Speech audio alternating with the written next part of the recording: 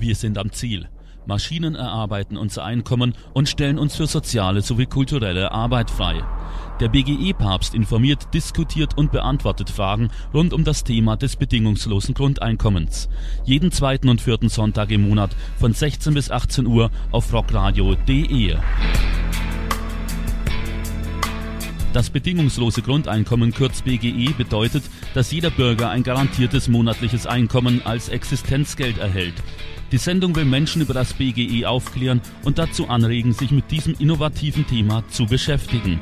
Weitere Informationen gibt es im Internet unter www.bge-film.de und www.bge-archiv.de. praktizieren.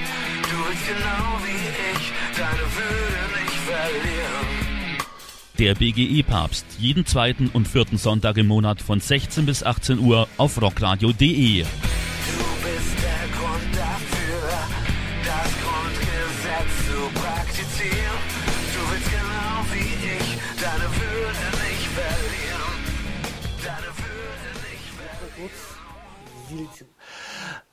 Der Kapitalismus macht keine Pause, leider geht er auch nie baden und so können uns auch wir hier keine Pause gönnen. Hallo und herzlich willkommen zum BGE-Papst. Seine Scheinheiligkeit predigt das bedingungslose Grundeinkommen. Hier und das Ganze live aus der Abbaubar, aus der Sozialbar in der Danziger Straße 50 im Prenzlauer. Hallo Juliane. Hallo Rolf, Rolf unser radioaktiver Barmann und Micha unser BGE-Papst an der Technik. Die funktioniert? Die funktioniert, die funktioniert gut. Micha, Wir haben heute äh, ein paar Pannen hier, wie gesagt, das Wetter, aber das soll uns nicht davon abhalten, ähm, eine gute Sendung zu machen. Wir haben heute folgende Gäste. Einmal Olaf Ostertag von der Linken. Hallo. Bitte, wir freuen uns, dass du gekommen bist bei dem Wetter. Und wir haben Jarek. Ja, hallo, Jarek Genau. Und Jarek. Genau, Jarek ist der, äh, wollte ich noch schnell hinterher schieben, der Veranstalter der BGE-Demo am 14.09. Genau. Da hören wir gleich auch noch einiges zu. Micha, hast du was einzufügen? Ja, habe ich ganz kurz, weil ich habe hier natürlich, ich schwitze hier gerade an der Technik, weil die Software, die ich sonst benutze, die startet nicht. Ich musste auf eine andere, wir haben einen Ersatz Mischpult, weil das unsere eigentliches immer noch bei der Reparatur ist und so weiter. Also deshalb, und ich wollte gerade sagen, Jarek, mach bitte deine Begrüßung nochmal, weil das Mikrofon war noch nicht offen gewesen. Aber jetzt sind wir auf Sendung. Jetzt bin ich auf Sendung. Wir sind, wir sind, wir sind sowieso auf Sendung, nur ich habe das Problem, ich kriege hier die Mikros nicht einfach abgeschaltet, sondern ich muss sie jedes Mal runterregeln sozusagen, äh, wenn wir Musik spielen wollen wollen. Ah ja, und okay. jetzt zur Eröffnung sozusagen waren alle Mikros offen, nur eben halt das blaue noch nicht, wo Jarek eben halt reingesprochen hat. Also nochmal okay. halt, wo also, Jarek. Also soll ich mich jetzt begrüßen nochmal? Also, Bitte seid so freundlich. Nein, also äh, Jarek Leschinski, ich bin hier jetzt auch beim BGE-Papst in der Sendung und ähm, ja, ich übernehme natürlich nicht jetzt die Demokratie. Äh, ich, ich kann dich sozusagen nochmal vorstellen. Und zwar, Jarek ist Veranstalter der BGE-Demo, die am 14.09. stattfinden wird in Berlin. Und da sprechen genau. wir gleich noch drüber. Genau. So, so, Micha, willst du eine Musik oder sollen wir loslegen? Wie möchtest du gerne? Ähm, wie ihr wollt. Leute, was sagt ihr? Wir sind heute ein bisschen impro improvisierend hier. Loslegen, loslegen, Na, dann legen wir los. Also. Loslegen. Wir fangen mal an mit äh, Olaf Ostertag. Olaf Ostertag ist von der Linken und wir wollen natürlich, das ist ja unsere Reihe vor der Bundestagswahl. Wir hatten vor zwei Monaten den ersten von der Linken. Das war der Afts Wagner. Heute haben wir Olaf Ostertag von der, Le nee, von den Grünen hatten wir Afts Wagner. Heute haben wir Olaf Ostertag von der Linken, um Gottes Willen. Also ich wollte jetzt nicht widersprechen, weil äh, mir war der Name jetzt von den Linken zwar nicht bekannt, aber Nein. da wir immer noch über 70.000 Leute sind. Ich habe schon gerade gesagt, es ist sehr gedacht, heiß heute. Kann durchaus sein, dass ich ihn nicht kenne, auch wenn er bei uns ist. Ich muss mich sehr zusammenreißen heute bei den Temperaturen. Ähm, wir möchten natürlich wissen, warum sollen wir unser Kreuz äh, wo machen? Wer macht was äh, in Sachen BGE und äh, dafür haben wir Olaf Ostertag heute hier im Studio. Der soll uns erzählen, wie ist der Stand der Dinge bei der Linken. Vielleicht mal eine kleine Einführung. Erstmal, was machst du bei der Linken? Inwiefern setzt du dich fürs BGE ein? Was ich selber bei den Linken mache, äh, ist äh, schon ein bisschen umfangreicher, geht auch übers BGE hinaus. Ich bin in der Bezirksverordnetenversammlung in Berlin-Marzahn-Hellersdorf, dort kulturpolitischer Sprecher, bin dort auch der Vorsitzende des Ausschusses für Kultur und Weiterbildung, bin selber Kabarettist von Beruf, gelernter Schauspieler, ähm, haben wir vorhin schon im Vorgespräch ein bisschen drüber geredet, was ich sonst noch so alles machen kann. Singen kann ich beispielsweise auch, ob ich das dann auf der BGE-Demo am 14. September machen werde, da reden wir nachher noch mal ein bisschen drüber. Ähm, und äh, habe mit ähm, Stefan Wolf, der das äh, Konzept der Linken fürs bedingungslose Grundeinkommen geschrieben hat, mit Katja Kipping, mit Ronald Blaschke, der ja auch vielen Menschen bekannt ist, äh, und mit äh, Jens Eberhard Jahn und noch einigen anderen. 2004 in Erfurt die linke Arbeitsgruppe zum bedingungslosen Grundeinkommen gegründet. Und wir arbeiten halt jetzt nun schon neun Jahre lang kontinuierlich daran, dass die Linke sich auch ein Konzept zum bedingungslosen Grundeinkommen als das eigene adaptiert, sind da relativ weit vorangekommen. Ähm, es ist auch so, dass wir im Jahr 2014 unmittelbar nach der Europawahl auf dem Bundesparteitag der Linken dann die Gelegenheit haben, dieses Konzept ausführlichst vorzustellen, was also sehr selten passiert, dass man so kostbare Zeit eines Bundesparteitages, in diesem Fall 90 Minuten, opfert für das Thema bedingungsloses Grundeinkommen. Äh, da muss ich mal einhaken. Ähm, es ist ja in der Linken so, dass die Linke gespalten ist. Die Linke ist also nicht ganz, ganz und gar fürs bedingungslose Grundeinkommen. Ich will, das jetzt nur mal sagen, gespalten wäre jetzt falsch gesagt. Wir sind fragmentiert. Wie, wie man es jetzt aussieht. Ich wollte das nur mal eben äh, äh, einbringen, weil damit sich die Zuhörerinnen und Zuhörer jetzt nicht wundern, warum kriegen die keine Redezeit und so weiter und so fort. Ne? Also äh, bedingungsloses Grundeinkommen ist ja ein äh, Thema mit sehr, sehr vielen Aspekten und äh, ich glaube, dass äh, solche Konzepte wie Götz Werner sie vorgestellt hat oder wie Dieter Althaus sie mit dem äh, solidarischen Bürgergeld vorgestellt hat, bei den Linken auch sehr, sehr starke Abwehrreflexe gegen bedingungsloses Grundeinkommen als Idee erst hervorgerufen haben. Mhm. Also äh, es ist ja durchaus so, dass die Linken sich auf die Fahnen geschrieben haben, dass es möglichst mehr Gleichheit zwischen den Menschen geben soll. Mhm und äh, viele Modelle, die konkret vorgelegen äh, haben, die dann auch Gewerkschafter beispielsweise gelesen haben, der Verdi-Bundeskongress bewertet hat und so weiter, äh, die haben eben diesen Effekt nicht, sondern die können möglicherweise sogar für eine weiter wachsende Ungleichheit sorgen. Das ist ja jeweils immer eine Frage der Modelle. Inwiefern? Inwiefern? Ich sage jetzt einfach mal, wenn jeder ein Grundeinkommen in einer bestimmten Höhe bekommt, es bekommt ja dann jeder das Gleiche, es bekommt ja nicht ein Reicher mehr, ein Armer weniger. Warum ist dann Ungleichheit gegeben? Dann hat doch jeder Nee, nee, also äh, beim solidarischen Bürgergeld von Althaus ist es ja beispielsweise so, dass der äh, insgesamt dazu dient, also das, äh, äh, dieses Bürgergeld ist ja nicht in einer existenzsichernden Höhe definiert, hm. beispielsweise. Sondern? Ähm, 600 äh, Euro, wenn man äh, das Ganze haben will und äh, 200, wenn man das halbe haben will. Also weil ja gleich auch wieder eine äh, Pauschale für die äh, Bürgerversicherung abgezogen wird, für die Krankenversicherung von 200 Euro. Aber äh, das sollte komplett den Sozialstaat ersetzen. Das heißt, da wurde dann auch gesagt, zurzeit haben wir so 750, 800 Milliarden Staatsausgaben für Soziales und das würde bis auf die Hälfte oder ein Drittel runtergefahren. Das heißt also der Sozialstaat also würde dramatisch. Dann leben von den 600 Euro für, für alles. Und das nicht, verstehe ich nicht ganz. Ja, das, das ist das solidarische, das sogenannte solidarische Bürgergeld. Also es gibt viele Grundeinkommensmodelle, die sich Grundeinkommen nennen, ohne dass sie existenzsichernd sind, ohne dass sie besondere Lebenslagen berücksichtigen, ohne dass sie Bedarfe von beispielsweise Menschen mit Behinderungen berücksichtigen, äh, die dann eben dazu führen, dass für soziale Belange in diesem Land noch weniger ausgegeben wird, als heute ausgegeben wird. Das hieß eine Verschlechterung. Eine Verschlechterung. Und weil die Linken nicht für eine Verschlechterung zu haben sind, sind auch viele Linke der Auffassung, deswegen sind wir grundsätzlich nicht für ein bedingungsloses Grundeinkommen zu haben, weil das bedeutet eine Verschlechterung. Deswegen ist es unsere Aufgabe als Arbeitsgemeinschaft bedingungsloses Grundeinkommen in und bei den Linken eben deutlich zu machen, dass das bedingungslose Grundeinkommen auch so definiert werden kann, dass es allgemein eine Verbesserung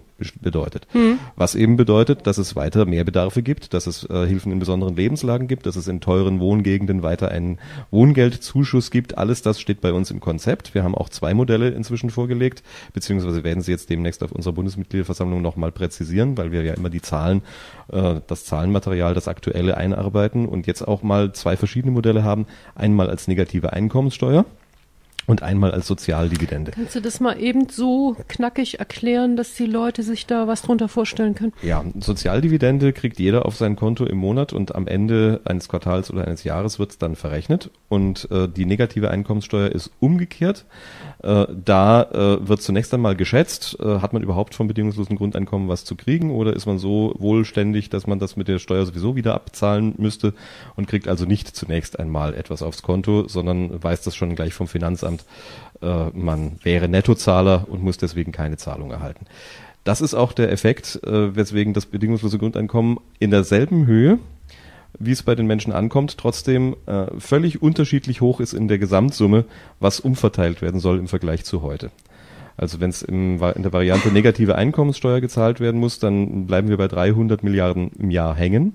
Wenn unser Einkommensmodell bei derzeit 1080 Euro für eine erwachsene Person äh, an alle zunächst mal als Sozialdividende ausgezahlt wird, da kommen wir langsam an die eine Billion ran.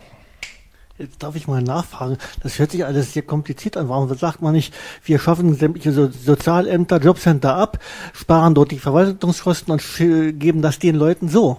Ohne das Prüfung. reicht nicht. Das reicht, das reicht nicht. nicht. Oh, das steht drin im Konzept, dass ja. die äh, Arbeitsverwaltung. Äh, was reicht nicht? Also das Geld, was dann frei werden würde, reicht nicht, oder? Nein, das, das Geld, das man einspart bei den Leuten. Also wir haben in unserem Konzept drin, dass wir die Leute nicht freisetzen wollen vom Jobcenter, sondern dass wir sie gerne äh, zu den Finanzämtern schieben wollen, damit wir eine wesentlich bessere äh, Steuerfahndung haben. Es ist ja heutzutage beispielsweise so, dass äh, wenn ein Steuerfahnder seine Arbeit ernst nimmt, dann wird er gleich äh, für verrückt erklärt und äh, wird vorzeitig pensioniert, wenn er Glück hat oder kriegt dann vielleicht sowas wie Gustl Mollert, dass er wirklich in die Psychiatrie eingewiesen wird. Wir hätten ganz gerne, dass die äh, Steuerfahndung auch wirklich das Geld eintreiben kann. Dazu braucht sie wesentlich mehr Leute. Und diese ganze Hartz-IV-Verfolgungsbetreuung, die äh, wir auch aufheben wollen, da sind dann jede Menge Leute frei. Und die haben ja so Erfahrungen mit den Hartz-IV-Empfängern, die würde ich gerne ein paar Multimillionären mal angedeihen lassen. Das ist natürlich. Den Lacher hat man jetzt aber nicht Idee. gehört, weil da das Mikro nicht dabei war. Also das ist äh, etwas, was aber noch nicht so in die Öffentlichkeit gedrungen ist. Das ist eine super Idee. Das heißt, anstatt, um es mal kurz äh, noch mal kurz mal anstatt Hartz IV Betroffene werden dann Multimillionäre verfolgt. Also erstmal muss man ja das Bewusstsein dafür schaffen, dass Hartz-IV-Betroffene tatsächlich verfolgt werden. Unsere das Bundesvorsitzende hat ja diesen schönen Satz der Verfolgungsbetreuung mehrfach in Interviews gesagt. Das muss man aber Leuten, die davon nicht betroffen sind, immer und immer und immer wieder klar machen. Also wir hatten jetzt da gesagt, ich beispielsweise bin ja auch Aufstocker, also betroffen davon. Äh, ich bin seit dem 14. Januar diesen Jahres äh, außerdem tätig als Callcenter Agent für Zalando, Schrei vor Glück. Und ich kriege da so 500, 600 Euro netto im Monat. Das verarbeitet mein Jobcenter nicht. Wie viel 24 Stunden die Woche. Ähm, das verarbeitet mein Jobcenter nicht. Also 7,50 Euro ist der Stundenlohn äh, brutto. Ähm, das kann mein Jobcenter nicht wirklich einsehen, weil das ist ihnen zu wenig und äh, deswegen sind sie immer noch in der Verpflichtung, mich regelmäßig vorzuladen und mir regelmäßig Eingliederungsvereinbarungen vorzulegen, wo ich mich verpflichte, dass ich weiterhin dem Arbeitsmarkt zur Verfügung stehe und nachweise, dass ich mich weiterhin bewerbe bei endlich einer Arbeitsstelle, wo ich dann komplett aus dem Leistungsbezug rauskomme. Wenn nicht, dann wird von dem bisschen, was ich da jetzt noch vom Jobcenter bekomme, das sind zurzeit etwa 230 Euro, wird mir erst mal 10, 30, 60, 90, 100 Prozent abgezogen, wenn ich mich nicht wohlverhalte.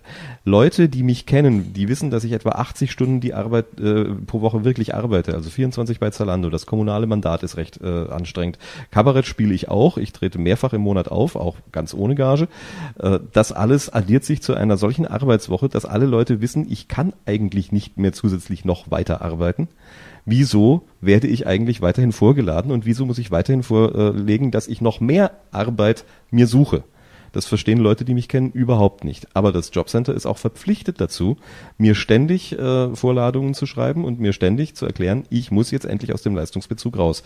Weil die einzige Daseinsberechtigung des Jobcenters ist, die sogenannten Kunden aus dem Leistungsbezug rauszukriegen. Es geht nicht darum, sie zu fördern. Es geht nicht darum, äh, zu sagen, sie sollen möglichst überleben können in Würde, sondern sie sollen verdammt nochmal aus dem Leistungsbezug des Staates, der Staatskasse raus. Das ist das einzige Ziel. Und wenn Sie selber, die Mitarbeiter des Jobcenters, dafür keine Idee haben, dann müssen die Kunden diese Ideen mitbringen. Und dass sie sie nachweisen, dass sie Ideen haben, wie sie aus dem Leistungsbezug rauskommen, das ist das einzige, der einzige Sinn des Systems. Über Inga Hannemann können wir ja auch noch reden. Ähm, die hat das ja auch wunderschön jetzt in ihrem Blog äh, Altona Blog ne, äh, veröffentlicht, wie das tatsächlich innerhalb so eines Jobcenters funktioniert Aber leider, es wissen immer noch viel, viel, viel zu wenige und viel mehr ja Leute sollten solche Blogs lesen. Naja, es ist ja jetzt eigentlich erst an die Öffentlichkeit gekommen, so wie ich gehört habe, durch einen Spiegelartikel, ähm, wie die Jobcenter auch arbeiten. Das war ja vorher nicht sehr an der Öffentlichkeit. Also es ist ja in diesem Spiegelartikel rausgekommen, dass die Jobcenter auch nicht so arbeiten, wie sie sollen. Obwohl so, wie sie sollen, wäre schon nicht, nicht in Ordnung. Aber sie arbeiten noch nicht mal nicht in Ordnung, so wie sie sollen, sondern sie arbeiten noch mal schlecht obendrauf. Also vermitteln Der Spiegel Leute. hat einfach eine äh, interne Studie des Ministeriums mal auf, ausgegraben, äh, wo das Ministerium selber evaluiert hat, wie funktionieren eigentlich die Jobcenter und diese, äh, wie das meistens mit Regierungsstudien ist, verschwand in irgendeinem Giftschrank und das Schöne an der Spiegelredaktion ist, die kriegt ja manchmal so Schlüssel zu Giftschränken von Bundesregierungsvorlagen. Aber da steht das alles drin, das kann auch jeder eigentlich wissen, das kann auch die Bundesregierung wissen, seitdem es äh, verabschiedet wurde. Ich habe das übrigens mal in meiner damaligen Eigenschaft als äh, äh, Journalist für das Neue Deutschland, für die Zeitung Neues Deutschland mal den äh, damaligen äh, Wirtschaftsminister, Arbeitsminister Clement gefragt, wie das denn sein kann, dass über dieses System ganz viele Jobs äh, bezahlt werden als ein Euro Jobs, die vorher ordentliche Arbeitsstellen waren. Was sagt er dazu? Das ist nicht der Sinn des Systems. Aber es wird trotzdem so gemacht. Aber es wird trotzdem so gemacht, aber das war, das war nicht gewollt, als es verabschiedet wurde. Das will ich damit sagen. Sie konnten es alle wissen, wenn Sie die eigenen Berichte Ihrer eigenen Beamten gelesen haben, haben Sie aber nicht gelesen. Sie haben gesagt, wir wollten was Gutes machen, schade, dass es nicht funktioniert. Nächstes Thema bitte. Aber es läuft trotzdem weiter, wenn es auch nicht funktioniert. Ne? Also das ist ja das Problem. Man könnte sich auch hinstellen und sagen, Leute, das war nix. Äh, wir gehen nochmal zurück auf los und überlegen und setzen uns alle an den Tisch und überlegen uns nochmal was Neues, was Besseres. Aber genau das wird ja nicht getan. Also dieses von allen Seiten für schlecht erklärte System wird trotzdem weiter durchgepeitscht. Ne? Naja, das was hat von allen Seiten für schlecht erklärt. Ich glaube, dass die Bundesregierung gerade die schwarz-gelbe äh, findet, äh, auch die schlechten Auswirkungen sind in Wirklichkeit gute Auswirkungen, weil wenn die Leute so unter Druck sind, vielleicht verlassen sie dann uns endlich und gehen dann nach Griechenland oder Spanien oder wo sie hingehören. Also äh, man hat schon das Gefühl, dass es sich äh, um äh, das System handelt. Die Leute brauchen wir nicht, die sollen in Angst leben, die sollen möglichst keine Würde haben.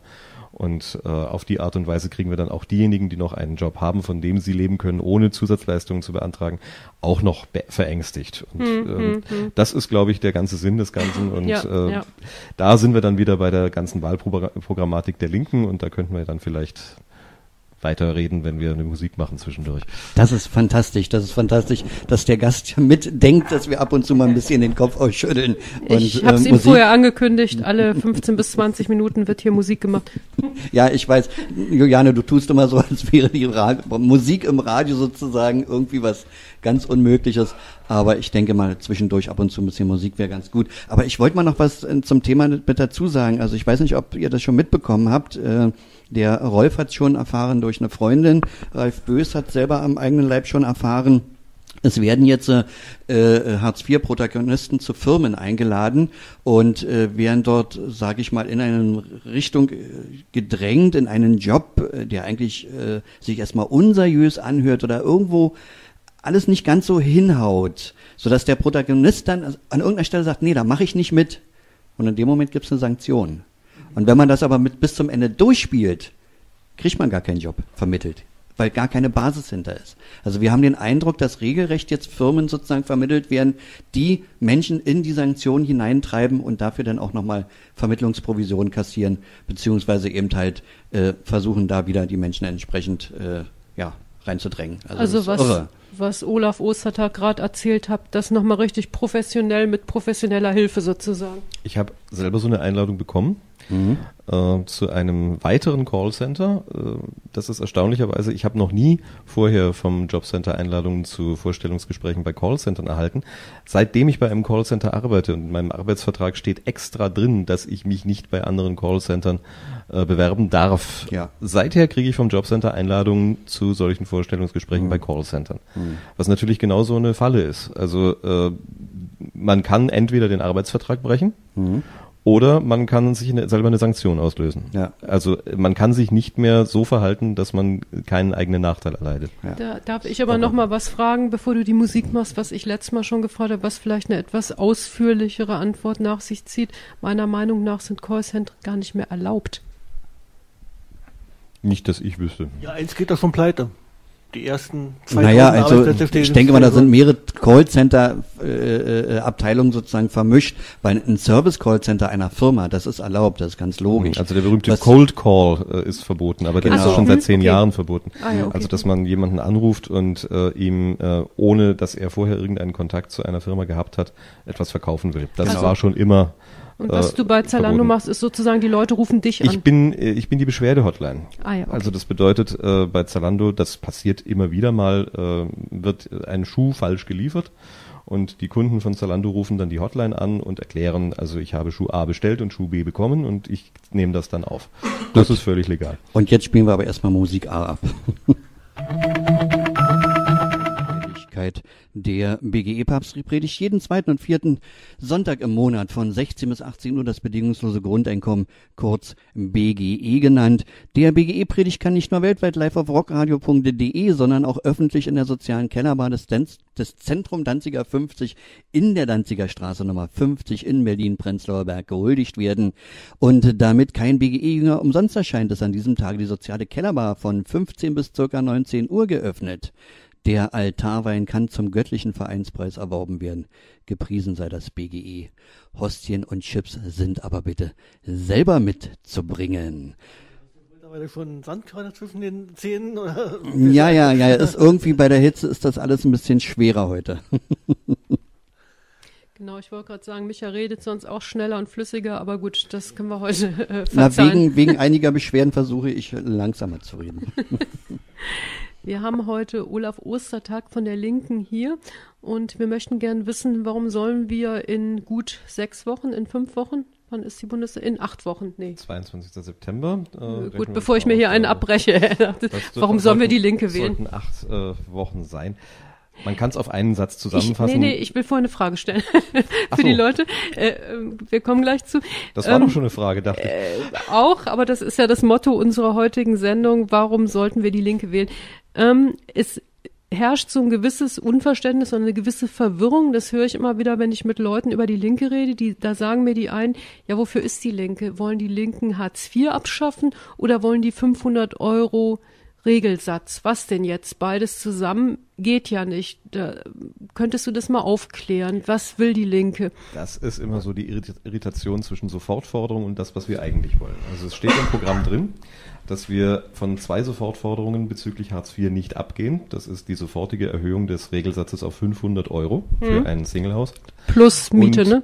Äh, plus Kosten, wie heißt das so schön, Kosten für Unterkunft und Heizung. So ist es korrekt ähm, ausgedrückt, ja. Und äh, das andere ist die sofortige Abschaffung des Sanktionsparagraphen 31 im SGB II. Also mhm. keine Sanktionen mehr und sofort Regelsatzerhöhung für einen Singlehaushalt auf 500 Euro. Dann steht aber außerdem im Wahlprogramm drin, dass wir äh, Hartz IV zugunsten einer äh, solidarischen Mindestsicherung also durch eine solidarische Mindestsicherung ersetzen wollen, okay. hm. die 1050 Euro zurzeit beträgt. Das aber auf lange bedeutet, Sicht, ne? Nein, das auf im Rahmen dieser Wahlperiode. Das heißt okay. also, hm. äh, was man ganz schnell machen kann, ist Regelsätze erhöhen im vorhandenen System. Und das war ja bei der Hartz-IV-Einführung auch so, dass das zwei Jahre gedauert hat oder äh, fast äh, zwei Jahre bis von der Idee bis zur tatsächlichen äh, materiellen Wirksamkeit. Also es wurde ja 2003 erdacht hm. und es war dann am 3.1.2005 erst Praxis.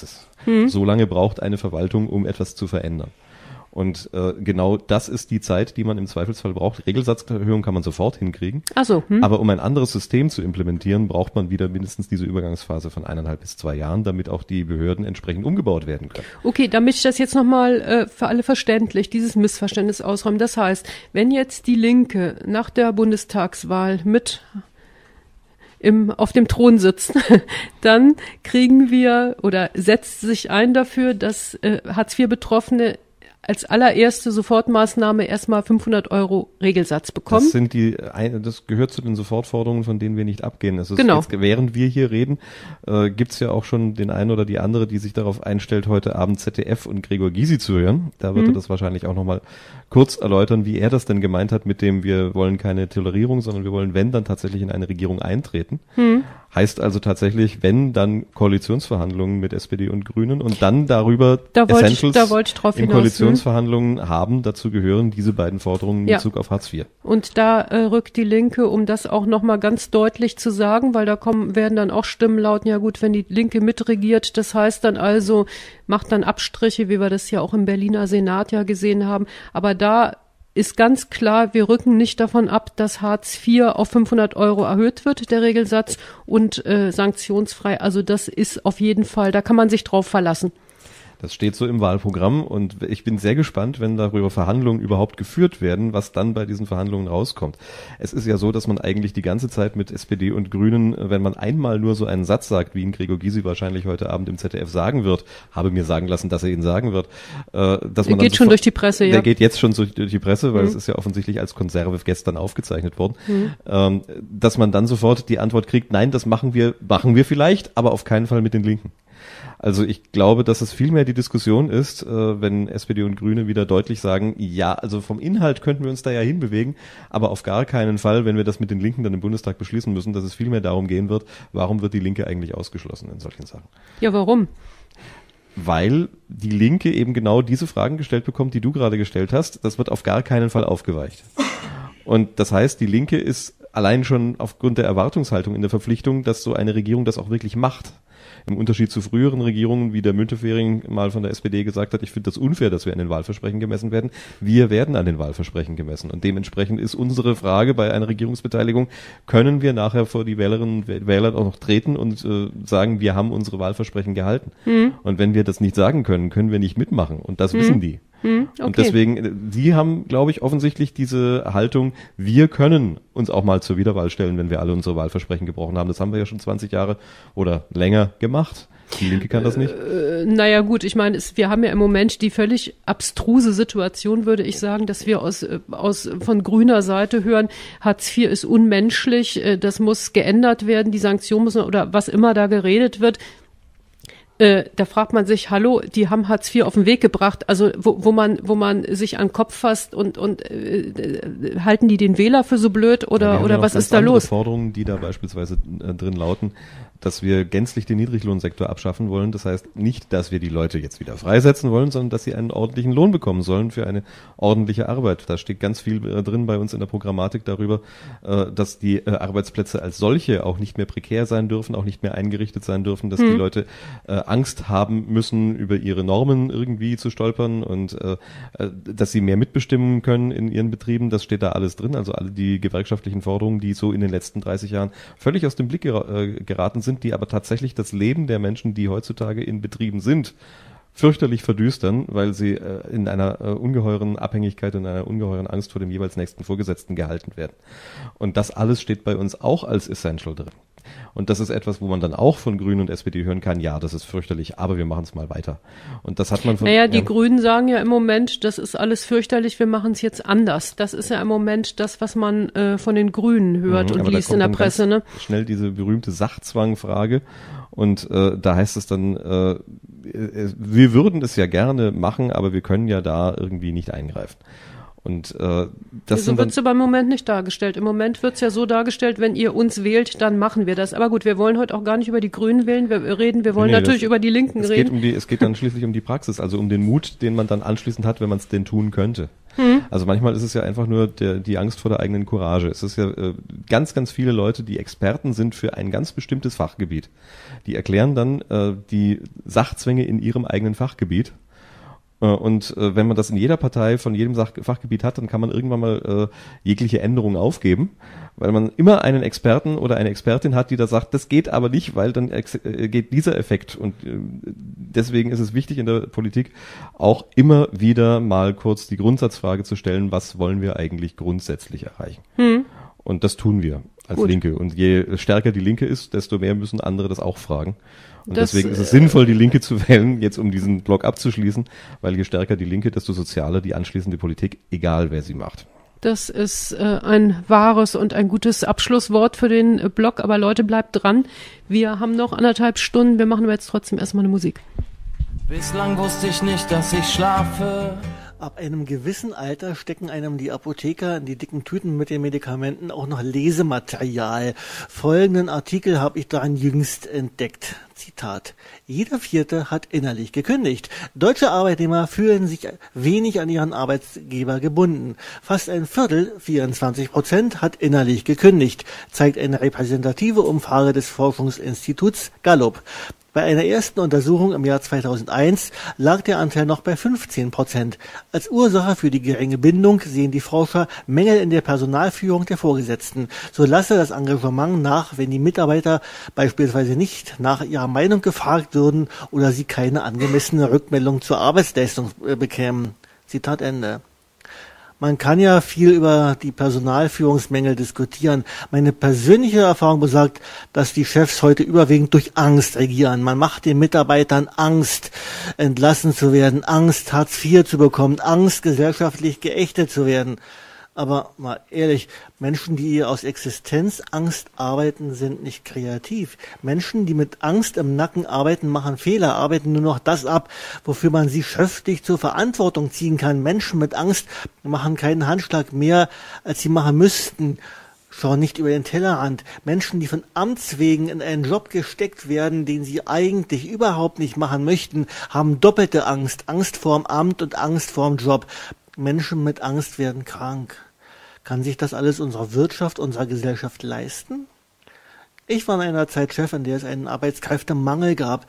Damit meine Angestellten auch noch am nächsten Tag zur Arbeit kamen und sie nicht krank wurden oder gar kündigten, konnte ich sie bei Fehlern, die sie machten, nicht einfach zur Sau machen, sondern ich musste meinen Anschluss in einer positiven, konstruktiven Kritik unterbringen, die den Angestellten zu besserer Leistung positiv motivierte und anspornte. Ungefähr so wie also Rolf, den Text hast du ja schon sehr gut über den Sender gebracht. Wenn du das nächste Mal aber ein bisschen weniger nuschelst, wird dann noch besser. Versuch's gleich nochmal. Ich weiß nicht, warum das heutzutage den meisten Chefs so schwer fällt. Leider erlebe ich diese mittlerweile vollkommen demotivierten Angestellten immer und immer wieder. Die Angestellten wissen von nichts, es ist ihnen egal oder sie müssen erstmal den Chef fragen, sie haben keine Ahnung davon, sie sind gerade im Stress, das gehört nicht zu ihrem Aufgabenbereich oder sie sind unsicher, es all dies betrifft und müssen erst auf den Chef warten. Und das genau ist der Grund, weshalb ich heute keinen Chef mehr vor meiner Nase haben möchte. Ich will mich nicht mehr aus Angst unter Druck setzen lassen und äh, vor allem bei allem den Chef fragen müssen. 24 Stunden am Tag, 7 Tage die Woche.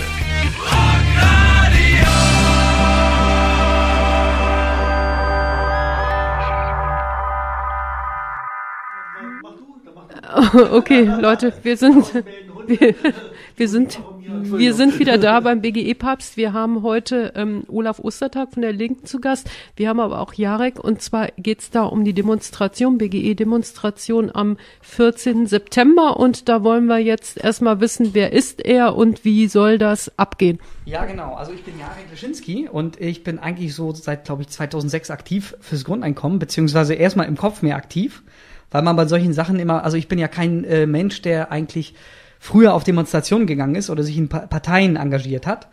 Ähm, Habe ich einfach nicht. Das war, also ich glaube, ich bin so ein typisches äh, Exam äh, also ein Exempel für so einen Menschen aus meiner, glaube ich, Generation, die sich gar nicht so politisch aktiv. Wie äh, alt bist ist. du? 36 inzwischen. Mhm. und ähm, ja, mein Leben lang war das eigentlich gar nicht so wichtig, weil man halt eben so denkt, so du denkst, du bist in, irgendwann mal im psychosozialen Moratorium, so nenne ich das, also im Bildungssystem, dann fängst du an, dich zu entwickeln irgendwie, fängst an, deine Ziele zu verfolgen und so weiter und so fort. Und weil du im psychosozialen Moratorium lebst, weißt du gar nicht um die gesellschaftliche Wirklichkeit, die weißt ja nur von Erzählungen. Und egal aus welcher, aus welcher gesellschaftlichen Schicht du kommst, du hast immer nur so, du kennst das nur von, Erzählungen und siehst man dann zum Beispiel die Linken, die dann irgendwo gegen was sind und so, und das sind dann immer, also Abstrakte. Und immer mal lernt man halt eben die, die Wirklichkeit kennen, ne? Und dann, genau, und dann sagt man, dann fragt man, dann stellt man sich Fragen und, und so weiter und so fort. Und bei mir war es halt eben so, dass ich von vornherein eigentlich mich immer gewundert habe über die Politik oder über Politiker, weil die wissen ja alle, wo es lang geht. Und äh, für mich war das eigentlich immer ähm, die ganze Zeit eigentlich immer klar, selbst bis heute immer die Frage im Vordergrund oder eigentlich oder, oder die, die Haltung, dass ich eigentlich nicht weiß, was die Lösung ist. Und ich glaube, das ist, äh, das ist, äh, also ich, ich würde auch sagen, äh, das wäre für mich zum Beispiel eine demokratische oder, oder hat ja was mit Demokratie zu tun, dass man erstmal sagt, ich weiß nicht, also eine Unzufriedenheit oder so oder eine Empörung und dann sagt man, ich weiß gar nicht, was die Lösung ist und dann fängt man an zu suchen. Und ich glaube, man, äh, also aber alle hm. zusammen, ne? Das alle zusammen, verstehst genau. du unter Demokratie. Genau. Und das war zum Beispiel die Erfahrung, die ich gemacht habe bei echte Demokratie jetzt oder bei dieser Occupy-Bewegung, haben wir gerade darüber gesprochen, ne?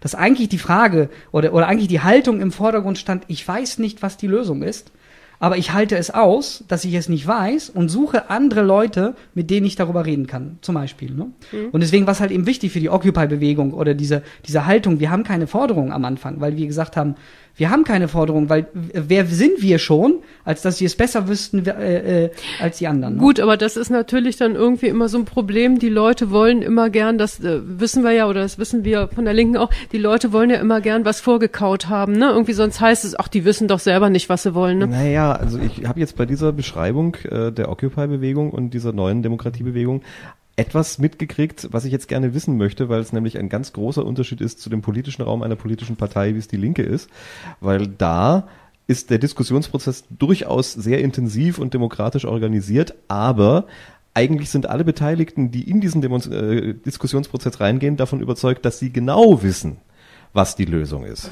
Es gibt also ganz viele Leute in einem Raum, von denen jede und jeder glaubt, dass sie wissen, was die Lösung ist und dann müssen die miteinander aushandeln, was ist denn jetzt unsere Lösung, die, auf die wir uns alle einigen können. Und das ist eigentlich eine ganz andere Situation, als wenn ganz viele Leute in einem Raum sind, die sagen, ich sehe ein Problem, aber ich weiß nicht, was die Lösung ist. Ja, das sind zwei völlig unterschiedliche Diskussionen. Deswegen vielleicht versteht sich auch die Occupy-Bewegung mit dem politischen Betrieb überhaupt nicht. Diese Erfahrung habe ich jedenfalls gemacht und da würde ich gerne mehr, Näheres wissen. Ja, genau. Also äh, das kann ich auch so bestätigen eigentlich, weil ich, ich glaube, die meisten Leute, die sich da engagiert haben, auch in Deutschland äh, eigentlich, aber auch in Spanien und überall, das war halt eben genau was völlig anderes, was, äh, was diesen üblichen politischen Betrieb äh, da äh, anbelangt. Ne? Da hast du vollkommen recht. Und ich will das ja gar nicht gegeneinander spielen, ne, ausspielen, weil das macht, das ist ja, das will ich ja gar nicht machen. Ich will ja nicht sagen, das ist schlecht, das ist gut. Aber das war, glaube ich, da, das war das Zündende, was aus den eigentlich aus den arabischen Ländern kam, dass man halt eben gesehen hat, vor allen Dingen junge Menschen gesehen haben, dass da sich all, junge Menschen vor allen Dingen, aber nicht, nicht, nicht nur alle junge, aber auch junge, aber auch eigentlich alle sich treffen und über ihr Leben diskutieren, ob das so, wie es ist, eigentlich okay ist oder ob das so, ob wir zufrieden sind oder nicht. Und die haben sich zusammengetroffen, weil sie eigentlich nicht zufrieden waren. Ne? Und ich glaube, das war halt eben so ein Impuls, so ein Demokratieimpuls, was wirklich aus einer anderen Ebene, bei in der Psyche vielleicht sogar kam oder aus so, so ein, hatte was gar nichts erstmal mit dem Politischen zu tun, sondern eben wirklich mit dem eigenen Leben, dass man sagt, ich nehme das mein Leben nämlich ernst und das, weil ich das ernst nehme, muss ich auch das andere Leben ernst nehmen und dann will ich auch, dass du mein Leben ernst nimmst und dann reden wir jetzt halt eben über was, was ist eigentlich nicht gut. Und das war halt eben das, was aus, aus, äh, aus Spanien dann nach Deutschland kam und in Deutschland genauso auch, glaube ich, so zündend war, dass man gesagt hat, nee, wir wollen nicht euch, weil die meisten Menschen, das ist meine Erfahrung, die wollen ja gar nicht äh, irgendwie einen Vordenker haben. Ich glaube, das ist so das ist die alte Politik. Da habe ich aber einen, andere Erfahrung. Und, also und wir machen es nach. Da habe ich, muss ich einhaken, ich habe da ganz andere Erfahrungen Erfahrung, dass man eigentlich immer hört, so demokratische Prozesse wie zum Beispiel, dass auch innerhalb einer Partei diskutiert wird, weil ja auch nie irgendwie äh, äh, gleiche Meinung ist. Da sagen die Leute ja, die streiten sich ja nur, die wissen ja gar nicht, wo sie hinwollen. Also ich habe schon die Erfahrung gemacht, die Leute wollen was vorgesetzt bekommen, was sie dann gutieren oder ablehnen. Also ich glaube, dann, jetzt muss ich ja einschalten, es ist sowohl als auch, die Menschen sind ja unterschiedlich. Es gibt Leute, die brauchen einen Chef, der ihnen sagt, tu das und das. Genau. Hm. Es gibt dann Leute, so wie äh, dich oder mich oder, oder, oder mich, ich, ich kann so nicht arbeiten. und so ist es. genau da würde ich, da würde ich auch noch mal ganz gerne und, wieder. Warte mal kurz. So, ja. da haben wir jetzt alle hier drin. und so ist es halt eben auch, auch mit der Politik. Es gibt sicherlich Leute, die, die brauchen jemanden, der ihnen sagt, tu das und das und das und das und das ist die Lösung oder wir haben da diese Lösung. Es gibt sicherlich auch andere, die sagen, ich weiß nicht, was es für eine Lösung gibt. Lass uns doch mal versuchen. Vielleicht finden wir was vollkommen Neues. Ja. Also, Und ich habe, lass mich mal ganz kurz noch, weil ich würde da noch mal kurz äh, auch einhaken wollen, weil ich bin ja so aufgewachsen, dass ja mein Erich schon auch wusste, was gut für mich ist. Erich Honecker. Genau, genau, ja. Und das habe ich auch immer wieder oder sehe das heute auch bei den Parteien und so weiter, dass sie eben halt der Meinung sind, dass sie glauben eben halt zu wissen, was die Menschen wollen und und und. Und ich glaube, Jarek, es gibt eben halt so Menschen wie eigentlich wir oder viele andere, die einfach sagen, lasst uns doch bitte einfach leben. Und ich bin der Meinung, dass diese neue Bewegung eigentlich oder diese mehr Demokratiebewegung und so weiter dahin führen sollte, eben halt, dass eine Gesellschaft einfach aus der Gesamtheit entsteht und nicht, dass eine Gruppe sagt, wie die Gesellschaft funktionieren soll. Ja, und das hoffe ich, dass das eigentlich uns irgendwie gelingt, äh, genau. das mehr in den Vordergrund zu bringen. Ja, genau. Genau, du hast vollkommen recht. Ich glaube auch, also zum Beispiel der Satz, der alte Satz von Kant, ne, habe mutig deines eigenen Verstandes zu bedienen. Das war, das war wirklich, das war witzig und interessant, weil am Anfang, als es da so stand, ne, sapere aude heißt das, äh, äh, haben viele gesagt, ja, das ist ja viel zu akademisch und Latein und so. Keine, das haben die, Leute, das haben die verstanden. Die, jeder Mensch versteht das. Also dass man, ne, und ich, das ist meine Erfahrung, dass man eigentlich, das ist so, dass es halt eben ähm, politisch oder politisch sein, da glaube ich an, eigentlich anfängt, dass man so sagt, okay, wir, du, du sollst Mut haben, wirklich über dein eigenes Leben nachzudenken. Und ich glaube, das ist so das, was heutzutage den, den Politikverdruss hier ausmacht oder Parteienverdruss. Den, oder ich glaube, es gibt keinen Politikverdruss, es gibt nur Parteienverdruss, hat aber nichts mit den Linken zu tun, sondern mit den anderen Parteien. Und, ähm, und ich glaube, das ist vielleicht der Anfang oder das ist auch so eine Hoffnung, dass ein eigenes, so wie du, so wie Michael, Michael sagt, dass so ein Selbst politisches Selbstbewusstsein entsteht, was völlig neu war. Und ich sah das so entstehen, aber das ist halt so eine schwierige Sache. Äh, aber es war wirklich so eine Hoffnung, so ein Fünkchen Hoffnung, dass auch wir hier so eine neue 68er bekommen oder sowas, ne? Das ist aber besonders spannend, die Frage, lasst uns doch einfach leben. Äh, weil diese ganzen Diskussionen darüber, äh, was man jetzt alles nicht machen kann, stehen ja äh, daher, dass aus dem politischen Betrieb die Bedrängnis kommt, so und so und so lebt ihr aber gefälligst nicht. Aber umgekehrt äh, ist dann die Frage, dass dafür setzt sich ja die Linke schon immer ein, dass möglichst alles, das heißt das Selbstermächtigung, Ermöglichung, Selbstbefähigung zu allem Möglichen. Also das heißt eine ganz große äh, freie Wahl darüber zu haben, wie äh, er oder sie das Leben einrichten will für sich. Äh, ist das denn tatsächlich in den Diskussionen dann auch wirklich so weit, dass in der Gesellschaft die Menschen bereit sind, andere andere Lebensentwürfe äh, äh, leben zu lassen. Also ganz spontan fällt mir da beispielsweise die äh, Frage der Familie oder Familie als Leitbild oder Patchwork-Familie oder äh, was jetzt so besonders umkämpft ist in anderen Ländern mehr als in Deutschland erstaunlicherweise äh, die Frage der homosexuellen Ehe. Ähm, fällt mir ein, da sind doch ganz, ganz viele Menschen, die in solchen äh, Demokratiebewegungen sich äh, befinden und aufhalten und sagen, wir möchten gerne, dass die Politik uns nicht reinredet aber dann, wenn man genau hinschaut, doch immer davon überzeugt, es gibt bessere und schlechtere Lebensentwürfe. Mhm, mhm. Und äh, ist denn diese Toleranz, die daraus spricht, dass das die Forderung ist nach Toleranz, ist das auch wirklich eine mehrheitsfähige Geschichte? Weil es kann zwar sein, dass alle sich darauf einigen können, ich möchte Toleranz für mich. Aber jeder Einzelne, der das für sich möchte, hat dann immer die Frage zu stellen, bin ich auch bereit für alle anderen die gleiche Toleranz zu geben? Mhm. Und ich glaube, das ist die spannendste Frage der gesellschaftlichen Entwicklung, ob wir das als Gesellschaft, ob jeder einzelne Mensch das hinkriegt.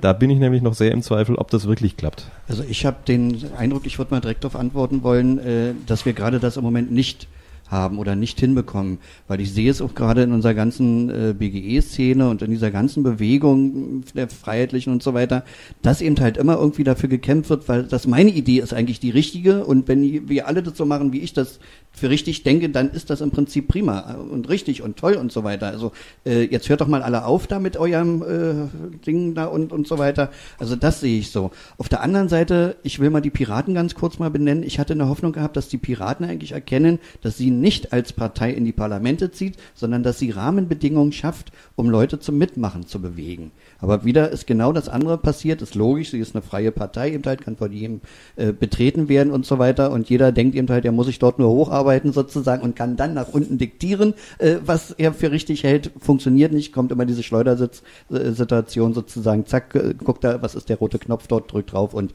weg ist er. ja, also das habe ich gerade bei den Piraten eben halt äh, sehr schön beobachten können eben halt. Aber wie gesagt, für mich ist eben halt die Frage eben halt. ja, können wir nicht Rahmenbedingungen schaffen eben halt? Ja? Da will ich jetzt, das will ich nochmal aufgreifen und zwar was Olaf Ostertag gerade gesagt hat, das ist ein sehr gutes Beispiel, die homosexuellen Ehe. Also in Frankreich gab es fürchterlich laute, aggressive Demonstrationen.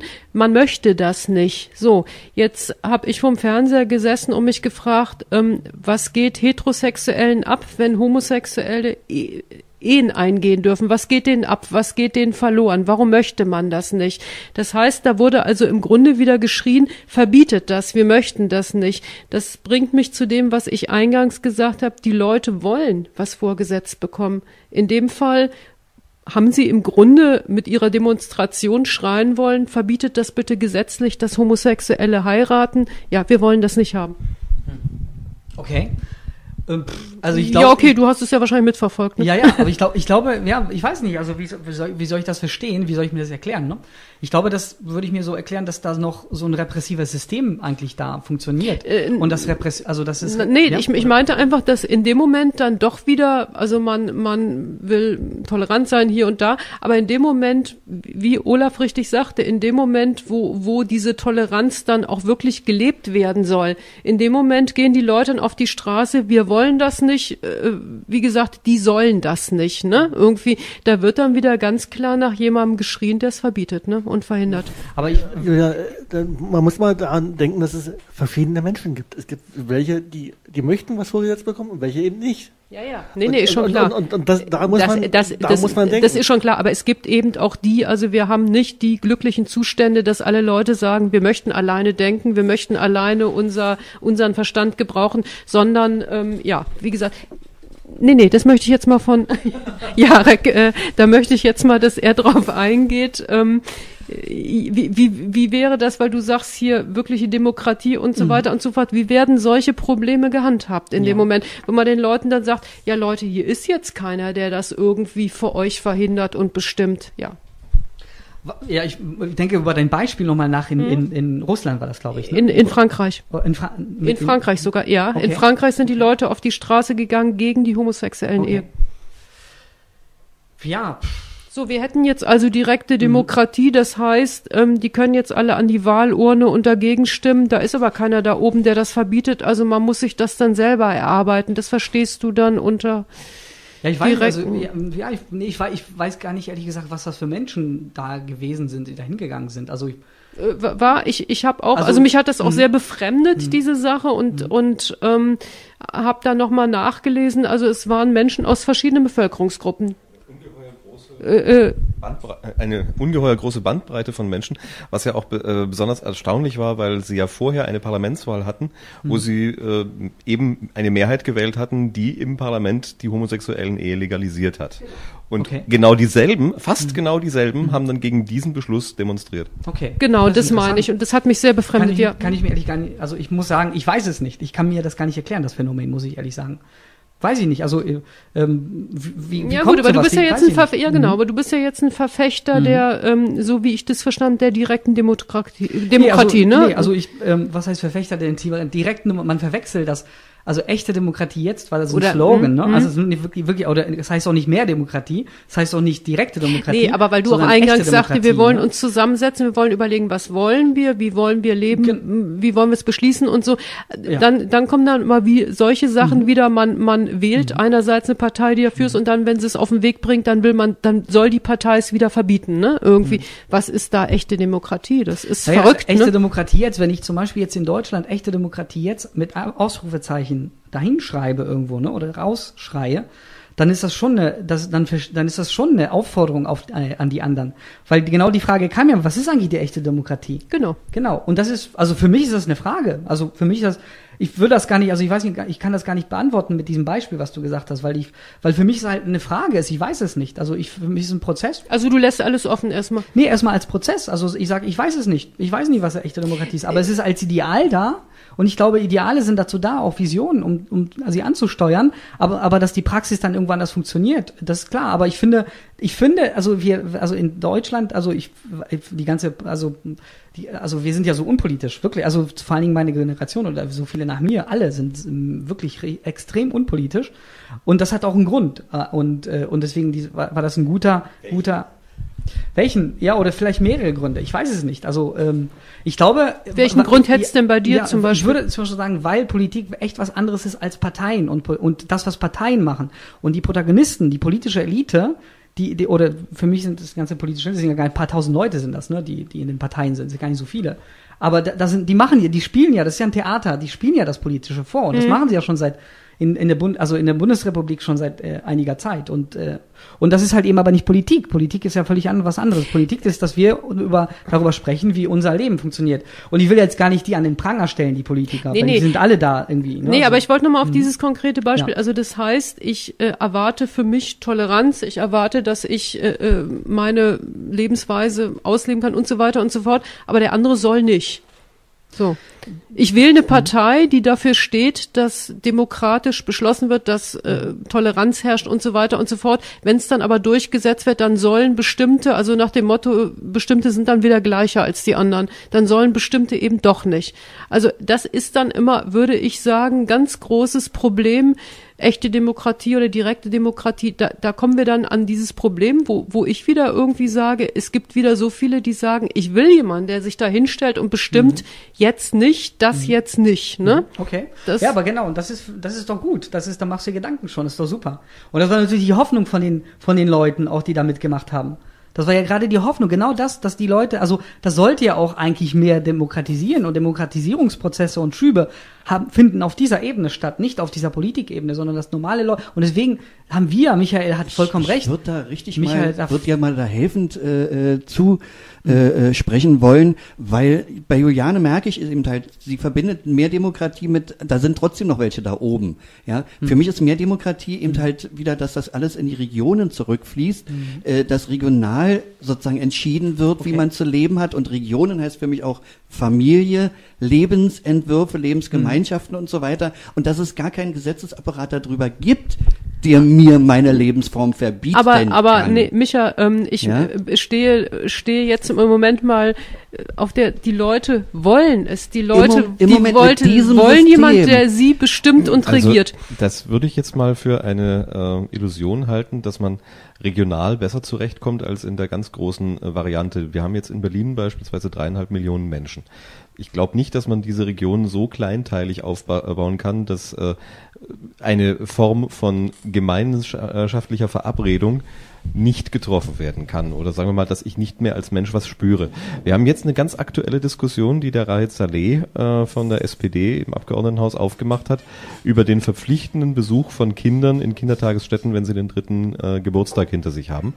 Äh, was man sehr wohl äh, einsehen kann. Ich hatte selber die Diskussion, in einer äh, Schule, wo ganz ein hoher Migrantenanteil gewesen ist und wo die Kinder, die es dann doch irgendwie geschafft hatten, in einem Gymnasium äh, äh, voranzukommen, aber von mir als Linkem gefordert haben, wir wären wesentlich besser vorangekommen, wenn sie, die Politik, die Politiker, unsere Eltern gezwungen hätten, dass sie uns wiederum zwingen, in die Kita zu gehen. Wir sind erst mit äh, sechs, sieben in die Grundschule gekommen und hatten fürchterliche Schwierigkeiten wären unsere Eltern gezwungen worden, uns mehr der deutschen Gesellschaft auszusetzen, schon wenn wir drei, vier sind, dann wären wir jetzt weiter. Wir sind von der Politik vernachlässigt worden, beziehungsweise die Politik hat es nicht geschafft, und zu Recht verweist die CDU darauf, sie darf das auch gar nicht, unsere Eltern zu zwingen, etwas zu tun, was unsere Eltern mit uns nicht wollen. Und das ist eine Frage, die kriegst du in Berlin nicht geklärt, die kriegst du in Deutschland nicht geklärt, die kriegst du aber auch in einer Kommune von 100 Mitgliedern nicht geklärt weil du so eine grundsätzliche philosophische Frage daraus machen musst, was dürfen Eltern, was müssen Eltern, was muss die Gemeinschaft im Zweifelsfall tun, wenn die Eltern das nicht tun, was den Kindern gut tut, und aber wie wenig darf die Gemeinschaft eintreten, weil die meisten Eltern möchten ja bitte schon die Gemeinschaft nicht spüren in der Art und Weise, wie sie ihre Kinder und aufziehen. Woher nimmt aber die Gesellschaft sich das Recht zu bestimmen, was das Richtige ist? Das ist die andere Position. Mhm. Es gibt Leute, die da sagen, es gibt das Richtige für die Kinder, es gibt Leute, die sagen, es gibt das Richtige für die Eltern und es gibt einen direkten Interessenkonflikt zwischen Kindern und Eltern. Wer entscheidet den? Die Kinder sind automatisch die Schwächeren. Also wenn die Eltern möglicherweise etwas tun, was den Kindern schadet, müssen andere eingreifen, die mit Eltern und Kindern in diesem konkreten Fall mit der Familie nichts zu tun haben. Also steht die Familie quasi unter einer Art von gesellschaftlicher Kontrolle. Sie tut das nur dann nicht, wenn nur diese eine Familie in irgendeinem abgeschiedenen Bergdorf mit niemand sonst lebt. Nur dann haben die Kinder quasi immer den kürzeren gezogen. Also ist doch am Ende, mein Erich hat doch sozusagen immer nur das Beste für mich gewollt. Na, Micha, jetzt keine Trotzigkeiten. Also wir hören. Micha hat echt, das sehe ich genauso, ja. ja. Also ich äh, äh, bin ja bin ja nicht unter Erich groß geworden. Ich ähm, vertrete aber doch, wie gesagt, ich sage es jetzt nochmal, die Meinung, die Leute wollen oder viele Leute wollen einfach, dass jemand ihnen sagt, was sie zu tun haben. Ob ich das jetzt äh, gut oder schlecht finde, das äh, ist jetzt gar nicht das Thema. Ich beobachte das eben nur, ne? Und ich befürchte und deshalb ja auch nochmal meine Frage an Jarek. Ich befürchte, dass viele Leute mit dieser unendlichen Freiheit nicht so recht umzugehen wissen. Warte mal, wollen wir erstmal den, den, den Fight machen, weil der sitzt schon hier die ganze Zeit über. Und, Aber und, wenn da eine Frage, Frage ja? an den Jarek oder? Fight? Ja, ähm, gebt das Mikrofon nicht in die Hand. ja, äh, Veit Pakula vom Netzwerk Grundeinkommen. Also zu diesen, diesen Zwängen, da, da stimme ich Rolf zu, dass es Menschen gibt, die gezwungen werden wollen sogar und mhm. Menschen gibt, die jetzt Freistücke, die wissen, mit der Freiheit umzugehen, weil es gibt unendlich viele Möglichkeiten, es gibt viele Möglichkeiten, sich zu verwirklichen. Man muss wissen, wie und man, man muss das verfolgen und so weiter. Aber ich, ich mache mit Zwängen keine gute Erfahrung. Also ich bin kein bin Typ, der keine Zwänge verträgt. Und wenn mich jemand versucht zu zwingen, dann hat er eigentlich die maximale Gegenwehr von mir, was das Jobcenter Pankow immer wieder spürt. Und äh, so zwingen versuchen wir uns da gegenseitig zu was zu zwingen. Ich zwinge die Sachbearbeiter da auch zu etwas, was sie nicht wollen. Also diese scheiß Arbeit, die ich ihnen teilweise mache da, das wollen die auch nicht. Ich will es auch nicht und können wir nicht mal einander in Ruhe lassen. Ich frage sie wirklich direkt mittlerweile.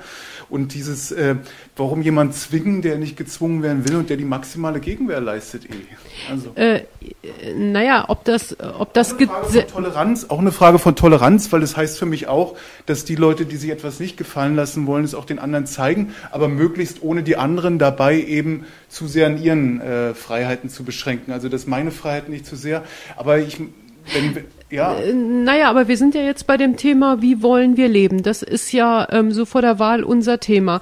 Und ähm, da sage ich, ich persönlich, obwohl das hier nicht hingehört, bin natürlich auch eine große Freundin von Selbstbestimmung und Freiheit. Und ich mag das auch nicht, wenn mir jemand sagt, was ich zu tun habe. Aber ich beobachte eben immer wieder, dass bestimmte Systeme, Gruppierungen, Initiativen daran zugrunde gehen, weil die Leute eben nicht selber wissen, was sie zu tun haben und was sie dann auch wirklich tun müssen.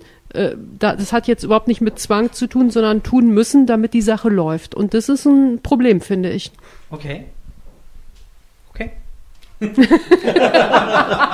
das, ja, das, ist ja, ja, das ist ja deine Wahrnehmung, ist ja auch okay. Ne? Ich glaube, ich finde ich finde immer so schwierig, weil heutzutage auch zum Beispiel solche äh, Experimente zum Grundeinkommen zum Beispiel finde ich äußerst schwierig oder finde ich überhaupt nicht gut, weil wir leben in einer Sozialpsychologie, die auf dieser Erwerbsarbeit basiert. Und deswegen genau. Hm. jedes Experiment, egal wie lange und mit wem, wird immer in dieser Sozialpsychologie, in der wir leben, stattfinden. Kein Mensch wird wirklich dann in dieser Zeit das tun, was er wirklich mit einem Grundeinkommen machen würde.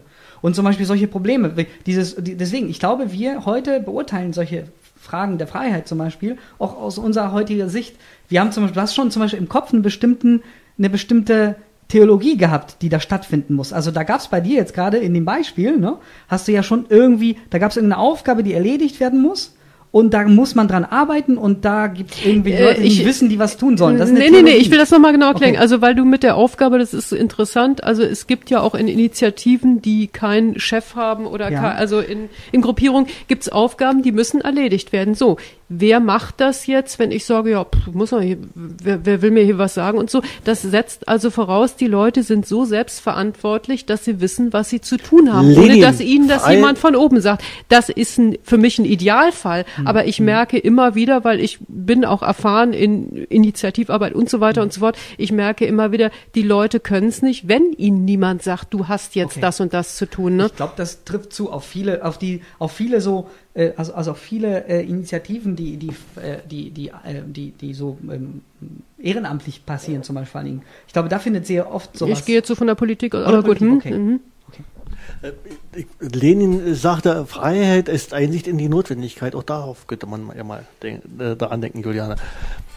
Gut, Fight. Ja, ganz kurz, wenn ich das einfach einwerfen darf, das sieht man doch an der Radiosendung, die wir hier gerade produzieren, ja. die, wir, die, die wir hier sind haben vorher Verabredungen getroffen, die wir alle eingehalten haben. Die Kamera, die jetzt nicht hier ist äh, und uns nicht aufzeichnet, damit wir es jetzt nicht ins Internet stellen können, äh, die hat eine Verabredung nicht eingehalten. Das heißt also, es wird immer irgendwas schief gehen und das wird's aber auch mit Chef. Also das ist wahrscheinlich ist das alles ein viel zu großer Popanz. Äh, sind wir selbst organisiert oder sind wir hierarchisch organisiert? Irgendwas geht doch immer schief. Ja, ja, das ist schon so, aber es war jetzt auch grundsätzlich. Ne? Na, es, jeder kann sich doch jemand suchen, der ihn zwingt. Also ich kann mir doch jemand, ich kann doch ein Gespür dafür entwickeln für Chefs, die mich zu etwas zwingen. Das ist ein Satz aus dem Schauspielerbereich. Das haben wir immer gesagt. Der, die einzige freie Wahl, die ein Schauspieler hat, ist, welchen Regisseur sucht er sich aus, der ihn dann zwingt. Oder er, oder er spielt Impro-Theater. Er spielt Impro-Theater, das ist ein bisschen freier. Äh, gibt ja auch Alternativen, glaube ich, mittlerweile in der Branche. Jedenfalls, äh, jedenfalls, äh, ich brauche doch, ich kann doch genug Toleranz von den anderen erwarten, dass sie den Staat nicht beauftragen, mich zu zwingen. Weil wenn sie selber Zwang brauchen, dann können sie sich den doch suchen und warum sollen sie es auf mich übertragen? Da sind sie auch. Äh, Veit, Veit, ja. äh, das ist alles okay und wie gesagt, also ich missgönne dir natürlich auch nicht deine Freiheitsliebe, im Gegenteil. Aber ähm, es geht ja um was anderes. Es geht ja darum, aber das sprechen wir nach der Musik weiter, weil es ging jetzt auch schon hitzig her. Hier. Wir müssen uns jetzt erstmal wieder sammeln, machen dafür eine Musik und äh, kommen gleich nochmal aufs Thema zurück, Leute.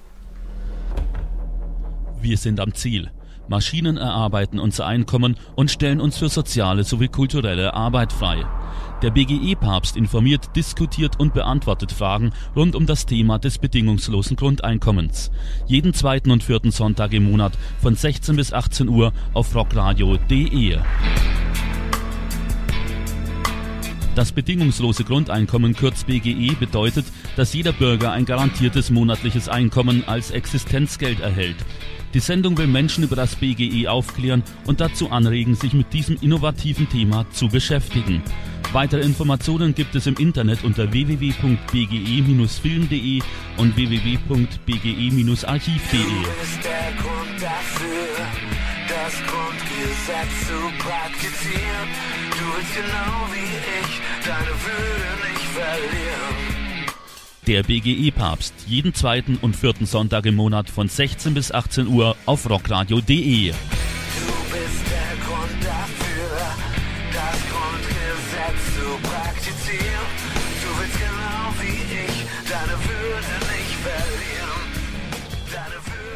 so schön, wenn man aus einer Sauna sendet. Hallo, herzlich willkommen. Noch immer seht ihr beim BGE-Papst. Seine Scheinheiligkeit predigt das bedingungslose Grundeinkommen. Heute wieder aus der Abbaubar, aus der Sozialbar im Zentrum Danziger Straße 50. Wir machen mit der heißen Diskussion jetzt weiter oder nicht weiter, Juliane? Äh, wir haben das jetzt mal so ein bisschen abgewürgt, weil wir haben ja heute ein Thema. Wir wollen einmal hören, warum sollen wir die Linke wählen, wenn wir fürs Grundeinkommen sind und wir möchten gern wissen, äh, was passierte am 14.09. Und da haben wir den Jarek eingeladen und der genau. wird uns das jetzt erzählen. Ja, genau, am 14. 19, äh, am 14. September, eine Woche vor der Bundestagswahl, wollen wir das Grundeinkommen in den politischen Raum tragen. Äh, und zwar äh, wollen wir eine Demonstration machen. Wir treffen uns am Neptunbrunnen um 13 Uhr und äh, wollen dann zur Schweizer Botschaft gehen weil die Diskussion äh, in der Grundeinkommensbewegung natürlich klar ist. Also die Schweizer haben ja da eine Volksinitiative oder sind dabei, sie zu initiieren, haben die Unterschriften äh, zusammengesammelt und die wird es auch geben. Und das Allerwichtigste wann, ist natürlich die Debatte. Wann passiert das genau? Gibt es da glaube, schon ja, ich glaube, einen Termin? Mh, ich glaube, also jetzt ist die Sammlung dran, aber ich glaube, die, diese, diese, dieser Volksentscheid selber, der findet, glaube ich, erst 2016 statt oder ah, ja. hm. paar Jahre später. Aber wichtig ist natürlich die, die, die äh, Debatte um das Grundeinkommen. Äh, wenn es genau äh, relativ genau wissen wollt, über 110.000 von, äh, von geforderten 100.000 Unterschriften hat die Volksinitiative und initiiert damit einen Volksentscheid, wie du sagst, je nach Organisationen, nach, nach, äh, nach politischen Begebenheiten und so weiter, kann das mehrere Jahre in Anspruch nehmen, bis der Volk, bis es tatsächlich zum Volksentscheid kommt. Genau. Aber und es ist zumindest ja. ist sicher, dass es dazu kommt. Ich denke schon. Also die wollen ja noch, ich glaube in der Schweiz wollen sie 130, weil dann ist eine, eine es gibt so eine so eine so eine Grauzone. Mm, also wenn man 100, mhm. also 100, wenn man 100 schon hat, ist es yeah, wir haben schon, aber man hat immer noch so ein bisschen, mh, hm, vielleicht sind ein paar ungültige mm, genau. dabei und deswegen sagt man sich, okay 130 für das Ziel, dann sind wir hundertprozentig sicher, Ja. aber jetzt im Grunde genommen weiß man, das wird stattfinden. Und das Allerwichtigste ist, und das betont auch zum Beispiel Daniel Heni, ist natürlich die Debatte, die da stattfindet bis dahin. Und das ist, glaube ich, auch, wo wir auch hier in Deutschland davon äh, oder äh, da irgendwie oder, oder die, diese Debatte sollten wir auch hier in Deutschland noch weiterführen. Ne, um Das heißt, es ist also eine positive Sache, dass es nicht gleich passiert. Man hat also jetzt doch noch Zeit, die Leute genau aufzuklären, worüber wird da überhaupt abgestimmt. Genau, also genau, ja genau. Also und äh, vor allen Dingen ist äh, äh, Abstimmung, das Wort Abstimmen ist wichtig. Das finde ich betont auch Daniel, finde ich auch wirklich nachdenkenswert. Nicht äh, nicht Entscheid, sondern Abstimmung ist es. Also man stimmt sich ab. Das heißt, man kommt vielleicht erstmal zu der Entscheidung, okay, jetzt noch nicht. Ne? Aber aber genau das ist der demokratische Protest zum, äh, Pro, äh, Prozess zum Beispiel. Und das ist das, also ich finde, ich bin neidisch so ein bisschen auf die Schweiz, ehrlich gesagt, dass es da so eine Möglichkeit gibt, haben wir hier nicht und äh, alle möglichen Gründe sprechen dafür. Deswegen finde ich auch die Demokratie, also die, die direkte Demokratie auch doch als Teil zum Beispiel auch sehr interessant in der D- Diskussion, ne? dass man Grundeinkommen sagt, ähm, ich, ich bin zum Beispiel überhaupt in keiner Partei, also ich bin überhaupt nicht Partei äh, organisiert oder sowas, aber mir ist diese, De äh, diese Debatte sehr wichtig und ähm, genauso wie Michael deswegen auch sagt, dass wir zum Beispiel Demokratie von unten für ihn und ich kann wirklich ganz, ganz nachvollziehen, glaube ich, was er damit meint, weil nämlich dann diese Debatte wirklich kommt und die Leute dann auch wirklich, wenn sie merken, es geht um ihr Leben, also nicht um ihr Leben, sondern um Ja, ihr, war die schon, hm. Gestaltung des Lebens, dann werden sie auf jeden Fall dabei sein. Aber heutzutage in der, in, in der politischen Szene, da merken die Leute, es geht nur darum, dass ich da irgendwann mal am Ende so und Mhm. äh, so irgendwie ja, nein oder keine Ahnung, aber es geht nicht um mein Leben. Und das ist zum Beispiel in der Schweiz und ich bin da wirklich schon seit langer Zeit am Beobachten, was da passiert und bin auch höre, was die so machen und wie das funktioniert mit der Initiative in der Schweiz. Ich bin wirklich neidisch, dass es hier so in Deutschland sowas nicht gibt weil es eben wirklich sowas wäre. Das ist wirklich sowas wie auch in der, äh, das ist eine, das ist schon eine Art, um, um, um etwas zu verändern, glaube ich, wirklich, um das eigene Leben zu verändern. Ne? Und ich glaube, in der, Demonstration, ich habe früher keine Demonstration gemacht, ich bin auch früher zu keiner Demonstration gegangen. Ich bin nicht, nicht der klassische Demonstration, De Demonstrationsgänger, aber ich dachte, äh, es, äh, dafür müssen wir was machen. Da muss irgendwas stattfinden, damit wir sagen, in diesem politischen Raum, Bundestagswahl und so, und Michael kritisiert das auch zu Recht, finde ich, dass man also, äh, dass man halt eben wieso dem, die äh, Bundestagswahlen unterstützen und so. Also ich bin eigentlich auch, ich komme, glaube ich, eher auch aus so einer äh, Haltung wie Michael, wo ich dann glaube, Parteien, weiß ich nicht, ob ich glaube nicht, dass sie was verändern sollen, aber ich glaube, da sind viele, viele Befürworter in unterschiedlichen aus unterschiedlichen Richtungen, unterschiedlichen Parteien, auch Nichtparteien und so weiter. Und ich glaube, wichtig wäre doch, dass wir alle da zusammenkommen und einfach das so als großes Thema äh, machen. Also vor allen Dingen für mich wichtig, dass wir die Idee leben. Also ich glaube, eine Idee zu leben, das ist, glaube ich, der erste Schritt zur Veränderung. Vor allem würde ich mal sagen, Hm. schwappt das ja auf Deutschland über. Sagen wir mal, hypothetisch, die beschließen 2016, es soll ein Grundeinkommen in der Schweiz geben. Also ich würde mal sagen, das schwappt sofort auf alle anderen äh, nordeuropäischen Länder zumindest über und Na dann klar. wird die Diskussion natürlich auch hier beginnen. Ne? Na klar, Sozialversicherungspflichtige, also die so Sozialversicherungspflicht zum Beispiel, damals wäre auch so ein Beispiel von Bismarck. Oder er hat es ja einge eingeführt aus, weil, weil die, weil die Linken, glaube ich, da auch, also die, die, die, die, die, also die Linken waren ja so stark. Oder er hat ja nicht, er hat es ja nicht eingeführt, glaube ich, weil er ein Gutmensch war. Schön, dass man endlich mal die Traditionslinie von der SPD damals zur Linken heute zieht. Das ist ja, sonst wird es uns ja meistens abgesprochen, dass wir da auch schon dabei gewesen sind, aber ich nehme das jetzt mal gerne an. Ja, ja, ich, ich, ich wollte nur sagen, ich ich wollte das Mikro mal weitergereicht. Wenn man das so sagt, also ich will, ich bin ja kein, kein, also ich kenne mich da nicht in der Geschichte so gut aus, aber ich weiß, dass er das nicht als gut, weil, weil er ein Gutmensch war, eingeführt hat. Aber das war auch trotzdem so eine Sache, die sich dann plötzlich auch in den anderen Ländern äh, verbreitet hat, hier in Europa zumindest. Ne? Und das ist halt eben genauso, wie du sagst, die Hoffnung. Und ich finde, also äh, und was ich frage, auch die Frage, was kann man tun, um damit die Idee da irgendwo, ne? Und das ist wirklich wichtig für mich, absolut wichtige Idee ähm, dann sage ich, okay, dann müssen wir sie leben. Und dann frage ich mich, und Michael hat sich auch gefragt und hat Michael äh, äh, hat gesagt, okay, dann mache ich das. Und das ist auch richtig so, dass er, er sagt so, ich mache den Papst oder ich mache zum Beispiel eine, eine Demo, ähm, eine, eine, also er hat eine andere Demo da äh, im Kopf gehabt. Und ich finde, es ist genau das die richtige Frage, dass man sagt, okay, wie mache ich jetzt etwas, was mache ich, damit die Idee lebt? So, das ist, finde ich, die wichtigste Frage, die wir uns stellen können, weil wenn wir sie am Leben halten, dann, ähm, dann passiert was. Äh, lass mich mal kurz auf diesen Punkt mit, der, mit meiner Kritik eben halt rangehen, weil ich habe ein bisschen das Problem eben halt, weil diese Demo eben halt eine Woche vor der Bundestagswahl stattfindet und äh, Wähler nicht mehr genug Zeit haben eigentlich, wenn sie damit neu konfrontiert werden, mhm. eben halt. Ja, dann sehe ich eben halt, das Ganze findet im Regierungsviertel statt, eben halt äh, für mich, für mehr Demokratie der völlig falsche Platz sozusagen, weil da erreichst du keine Menschen eben halt. Äh, meine Meinung eben halt wie, wieder. Und eben halt, okay, das mit der Schweiz und so weiter ist auch ganz toll, aber es sind alles Protagonisten, die sich schon fürs Grundeinkommen einsetzen. Und ich sehe es äh, bei, äh, wir haben ja diese Plattform Grundeinkommen ist wählbar, die wird vom Netzwerk Grundeinkommen zur Verfügung gestellt. Und ich erlaube mir da die Daten einzupflegen und habe jetzt mit Erschrecken festgestellt, wir haben dort zwei parteilose Direktkandidaten drinne. Wir haben endlos viele jetzt Piratenmitglieder natürlich drinne, klar, die können auch richtig, wir haben einige Linke und wir haben einige Grüne drinne eben halt, aber nur zwei äh, die sich parteilos fürs Grundeinkommen sozusagen zur Wahl stellen. Und das finde ich schade eben halt, weil diese Gruppe eigentlich, also die, die parteilos agieren, die bräuchten eigentlich einen Haufen Unterstützung, weil die bleiben bis zur Wahl auf der Strecke, weil es ist nun mal nicht leicht, die Unterschriften zusammenzukriegen, Geld für Werbung und, und, und. Und das finde ich so schade eigentlich. Ja? Meine Frage an Jarek, hast du die eingeladen, hast du die angesprochen, was die Demo angeht?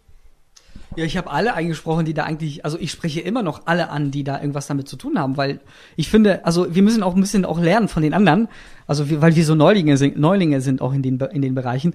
Und und da ist es, ich habe gelernt, es ist wichtig, dass man a nicht spaltet zum Beispiel und dass man b einen Minimalkonsens findet für sowas. Und der Minimalkonsens zum Beispiel auch in der BGE-Szene ist ja auch gar nicht so einfach, weil da gibt's auch unterschiedliche Vorstellungen und, und so weiter. Und äh, ich spreche alle an, die, die sich damit identifizieren, äh, dass ein Grundeinkommen ein Menschenrecht ist. Ne? Also das nochmal ganz klar, Direktkandidaten, Parteilose auch können zur Demo kommen und dort auch sprechen, ne? Weil wir haben ja das kann ich jetzt mal vorausschicken. Wir haben ja schon geplant, dass die Auf Auftaktkundgebung da sollen eben Politiker sprechen fürs BGE. Das heißt aber, es können auch Parteilose sprechen fürs BGE. Habe ich das richtig verstanden? Genau. Und Richtig, und da will ich mich auch am Bieg zeigen, äh, um, um, auch in Richtung Michael gucken, weil äh, ich selber, mu muss ich dir ehrlich sagen, äh, ich finde zum Beispiel äh, die Gedanken von Simone Weil sehr interessant, die nämlich auch sehr gegen das, gegen den pa parlamentarischen äh, also gegen den Parla Parlamentarismus, darf man das so sagen, ich bin politisch unerfahren.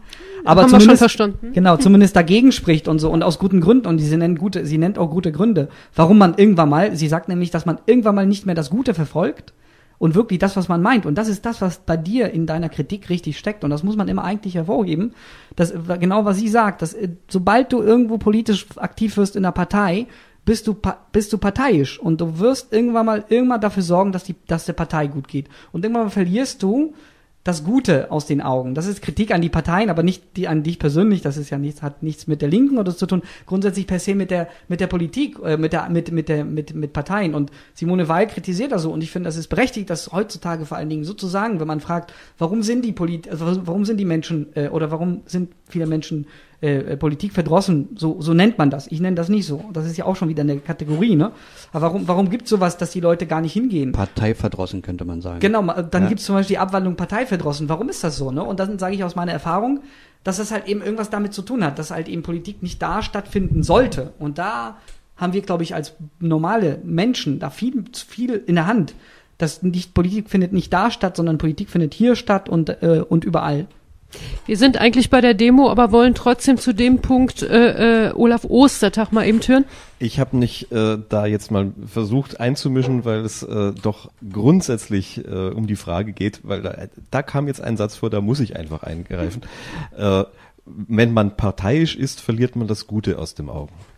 Äh, ich glaube, das ist ein grundsätzlicher logischer Fehler. Man kann, wenn man sich überhaupt dafür entschieden hat, zwischen Gut und Böse zu unterscheiden, nicht ausweichend parteiisch zu sein. Ich glaube, diese Vorstellung, dass eine in eine Partei gehen, du gibst dann deine Meinung quasi an einer Türklinke ab, äh, dass das äh, eine grundsätzlich falsche Vorstellung ist äh, von Parteien generell. Und da meine ich jetzt nicht mich persönlich und nicht die Linke äh, speziell als Partei, sondern ich meine grundsätzlich die Frage, wenn sich Menschen in Parteien organisieren. Es ist auch nur eine Organisationsform unter vielen. Es wird jetzt auch immer so gesagt, gerade dort findet das ganz große Böse statt.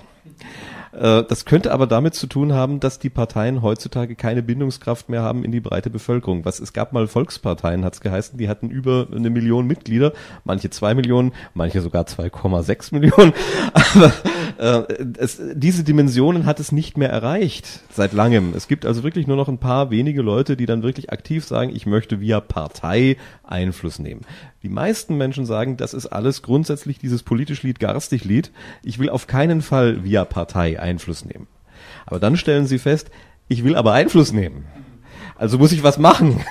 Also muss ich andere Leute finden, die mit mir Einfluss nehmen wollen. Also muss ich mich organisieren. Jetzt war gerade die Frage nach dem Einzelkandidaten für die Bundestagswahl, der in einem Wahlkreis sich hat aufstellen lassen. Der bräuchte aber Unterstützung. Der bräuchte Leute, die für ihn Unterschriften sammeln. Der bräuchte einen Apparat. Er bräuchte, ich sag's mal ganz böse, eine Partei.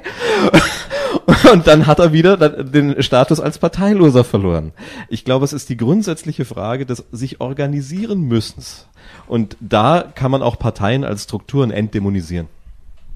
Ja, genau, ich will sie gar nicht dämonisieren, weil ich meine, es ist ja auch nicht mein Anliegen, da irgendwo das eine gegen das andere auszuspielen. Wir denken ja immer so ganz schnell, ganz oft immer, dass wir es gegeneinander ausspielen. Will ich, will ich gar nicht.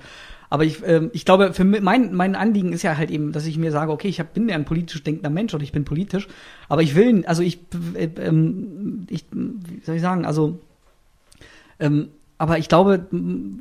Komm noch mal hm? drauf, wie du die ja. Leute ähm, bei deiner Demo einbinden willst. Und zwar alle. Ja. Nicht nur Parteien, sondern wirklich genau. auch Direktkandidaten, parteilose Leute. Wie willst mhm. du die einbinden? Naja, wie sprichst du die an? Naja, genau. Also ich muss sagen, ich bin ja nicht der große Organisator oder sowas, sondern, also klar, ich bin ja, ich bin schon die Person, die das macht, mhm. aber ich sehe mich halt eben, das soll ja nicht meine Demo sein, sondern halt eben von allen. Und deswegen. Gut, aber meine, einer muss ja, muss, komm ich wieder, wollen wir jetzt nicht wieder drauf eingehen, okay. aber einer muss ja das äh, Hauptkommando haben, ne? Okay, wenn du so denkst, okay, also meine Erfahrung ist halt eben bis jetzt die gewesen, dass ich eigentlich mit den Leuten gesprochen habe, die da aktiv sind und ähm, die angesprochen habe, erstmal so ganz normal mit dem mich mit denen getroffen äh, habe.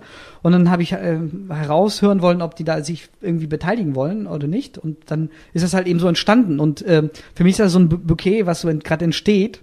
Und und nicht, wo ich dann sage, ja, du bist dabei, du bist nach meinem, man nach meinem Dünken, Mhm. Also, äh, ne? also ich bin ja nicht, deswegen, ich, mir ist es wichtig, ich, ist nicht, ich, nicht ich bestimme, was das Grundeinkommen das, ist oder wer das, das Wichtige ist, sondern genau, da wollte ich drauf es, es entsteht da so. Es ist ein Prozess und dann frage ich den, willst du mitmachen? Dann sagt er, okay, super, perfekt.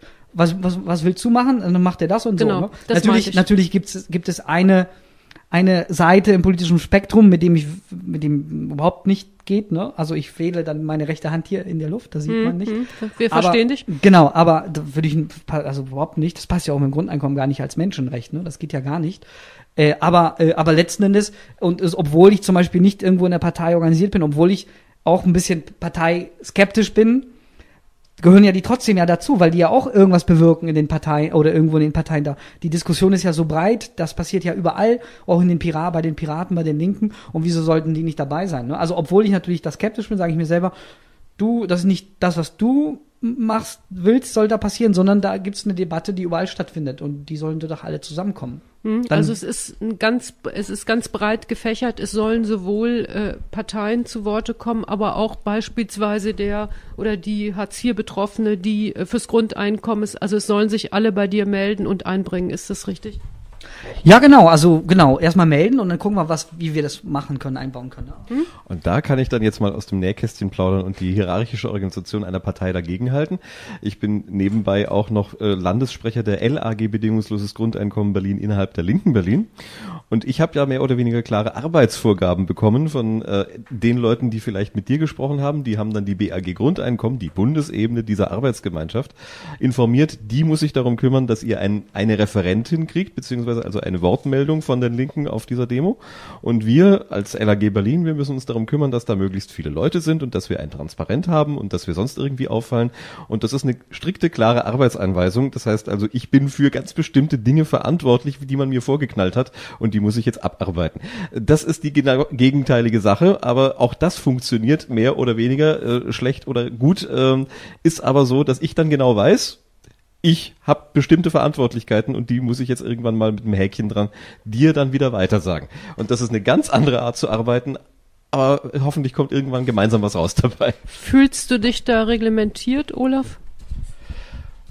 Das sind so Selbstverständlichkeiten, auf die man sich eingelassen hat, wenn man in einer Partei ist. Dann sagt man, sowas organisiert man halt, auch wenn's, wenn man es selber nicht erfunden hat. Das wollte ich hören. So, wollen wir eine Musik machen oder wollen wir weiter diskutieren? Ich wollte gerade sagen, der Stammesälteste sagt es, wir machen jetzt eine Musik. Okay. hoch. So der Musiktitel, das passt ja dann auch zum Chef nicht wirklich nach oben. Ihr seid immer noch hier auf rockradio.de, seine Feinheitlichkeit der BGE Papst predigt das bedingungslose Grundeinkommen, auch heute wieder bei herrlichem Wetter in Saunastimmung aus der Danziger 50 aus der Abbaubar. Juliane, und wir haben den letzten Redeblock für heute. Genau, aber ich wollte vorher noch mal eine kleine kurze Ansage machen und zwar, wir haben ja sonst den Klaus, der mitfilmt. Das ist heute nicht der Fall. Heute könnt ihr aber trotzdem die Sendung, die Diskussion zwischen uns noch mal wiederhören oder noch mal nachhören, wie auch immer. Die wird als ähm, Hördatei als äh, auf Neudeutsch. Auf Neudeutsch, Neudeutsch heißt das ja Podcast, oder? Okay, gut. Wird sie, wird sie reingestellt und ähm, dann könnt ihr euch die Diskussion nochmal anhören. Und ich komme jetzt zu dem Jarek nochmal und zwar nochmal ganz klar, wie kann man sich bei dir oder wie kann man sich einbringen, wo kann man sich melden und kann jeder einfach zu der Demo hinkommen? Bitte nochmal ganz klare. Genau, natürlich. Also alle sind eingeladen, zur Demonstration zu kommen. Äh, äh, alle, die dem Slogan zustimmen, Grundeinkommen ist ein Menschenrecht. Und da sehe ich aber in der Parteilandschaft einige ausgeschlossen, aber da brauchen wir gar nicht darüber zu sprechen, weil ein Menschenrecht ist halt ein Menschenrecht und ist nicht an eine Gruppe, irgendwie Nationalgruppe oder sonst irgendwas mhm. gebunden. Und, ähm, äh, und da sind natürlich alle herzlich eingeladen. Wenn, wenn sich jemand einbringen will, immer gerne. Also es gibt zum Beispiel eine Band, die uns eine Bühne anbietet, oder beziehungsweise eine, eine, eine Band, die da mitspielen will. Aber das müssen wir noch, Bearlook heißt die Band zum Beispiel, die haben uns angeboten, äh, wollen eine, Band, eine, eine, Bühne aufstellen, wollen da spielen und dann dürfen wir halt eben, oder beziehungsweise wir sind dann äh, landen bei der Bühne. Aber das ist noch, äh, das ist noch alles aus dem Nähkästchen geplaudert, Aber weil wir müssen das jetzt erstmal. Wo kann man sich melden, wenn man mitmachen melden. will? Genau, am besten äh, die Seite Grundeinkommen ist ein Menschenrecht.blogspot.de. Äh, blogspot.de. Aber am besten googeln nach Grundeinkommen ist ein Menschenrecht und dann kommt man schon auf die Seite. Das ist das, das ist der beste. Und da gibt's halt einen Kontakt äh, vor, ähm, über über das Kontaktformular kann man einfach schreiben und mhm. dann äh, wird das natürlich auch von mir und von, von einigen noch weiter gelesen also bitte, wird das auch wahrgenommen. Bitte also nochmal, wo? Das war jetzt ein bisschen, ein bisschen schnell für mich. Ja, am besten, der beste Weg ist, man googelt nach Grundeinkommen ist Menschenrecht und dann ist das, das gibt man oben die Google-Maske genau, ein und da kommt man automatisch, automatisch auf, auf die Demo-Website, genau, ne? Auf die hm? Website Man kann aber auch bestimmt andere Suchmaschinen benutzen. Man kann auch andere Suchmaschinen benutzen. Gut, dass du ja, sagst, genau. Micha. Ja, ja, ja. Gut, also dann könnt ihr, wenn ihr eine Idee habt für den 14.9., wenn ihr Musik machen wollt, ich habe gerade gehört, wir suchen speziell, oder es werden speziell noch Leute gesucht, die singen können. Genau, sehr ja. wichtiges Anliegen. Wir haben ja, wir haben ja, wir stehen ja in, in, in Gesprächen mit Bernadette Hengst zum Beispiel, die, gerade auch äh, unterwegs ist und, ähm, und ähm, wir haben da eine Idee und äh, sie würde natürlich auch mitmachen, aber da müssen auch äh, diesen, äh, äh, diesen, dieser Chor Grundeinsingen, das gab ja so eine, so eine Aktion von ihr, da brauchen wir, für diesen Chor brauchen wir noch Sänger und sie wird auftreten, aber wenn wir viel, ganz viele Sänger mit, äh, äh Mitsänger bekommen, ne, und dafür äh, dafür müssen wir jetzt uns einsetzen, dass wir da möglichst viele Sänger kriegen. Also Leute, wenn ihr singen könnt, geht auf die Seite, meldet euch unter dem Kontaktfeld und sprecht das ab, wie ihr da äh, euch einbringen könnt. Und wenn ihr gar nichts machen wollt, könnt ihr einfach kommen und mitlaufen an dem Tag. Genau, und am besten ein Plakat machen. Und das Grundeinkommen ist ja ein positiver, äh, also etwas Positives. Das finde ich immer sehr wichtig, weil ich, wie gesagt, ich bin früher nie zu Demos gegangen, weil es immer gegen war, irgendwas war. Aber für bin ich, für, für, für zieht mich an und ich glaube auch viele andere Leute und so was Positives und Fröhliches. Und das wäre super, wenn viele Leute einfach fröhliche Plakate machen würden. Und auch, es geht um die Fröhlichkeit, dass man die Fröhlichkeit auch da bei der ganzen Demonstration mitbehält. Finde ich sehr wichtig. Und genau, deswegen, wenn kommen, also auch ohne, aber natürlich sehr, super wäre es mit einem Plakat. Ne, das wäre auch perfekt. Hm? 14. September um 13 Uhr am Neptunbrunnen, da geht's los. Genau, Okay, prima. Dann kommen wir noch mal zu unserem äh, Gast Olaf Ostertag. Der ist von der Linken hier und zwar ist er in der Linken unter anderem fürs BGE zuständig. Ja, ich habe mitgegründet die BAG Grundeinkommen, die Bundesarbeitsgemeinschaft, die sich äh, damit beschäftigt, dass das bedingungslose Grundeinkommen ein linkes Thema ist. Wir haben, wie gesagt, ein sehr ausgefeiltes Modell und äh, deswegen sind wir auch in der Grundeinkommensszene, denke ich mal, einer von den, äh, eine von den Gruppierungen, die deutlich beachtet wird, ähm, auch wenn dann gesagt wird, ja, aber ihr seid ja bloß eine Arbeitsgemeinschaft und die Linke als Partei ist ja nicht fürs bedingungslose Grundeinkommen.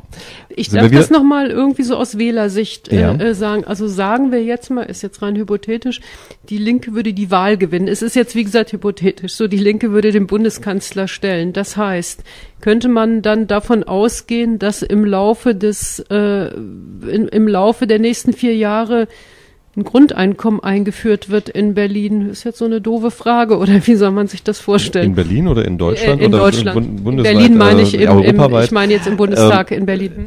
Also nachdem ja die Grundeinkommensszene, was äh, ja gerade schon richtig gesagt wurde, Janik richtig gesagt hat, äh, selber sich noch nicht so ganz einig ist, welches Grundeinkommen dann eingeführt wird, würde man sagen, das bedingungslose Grundeinkommen wird nicht eingeführt.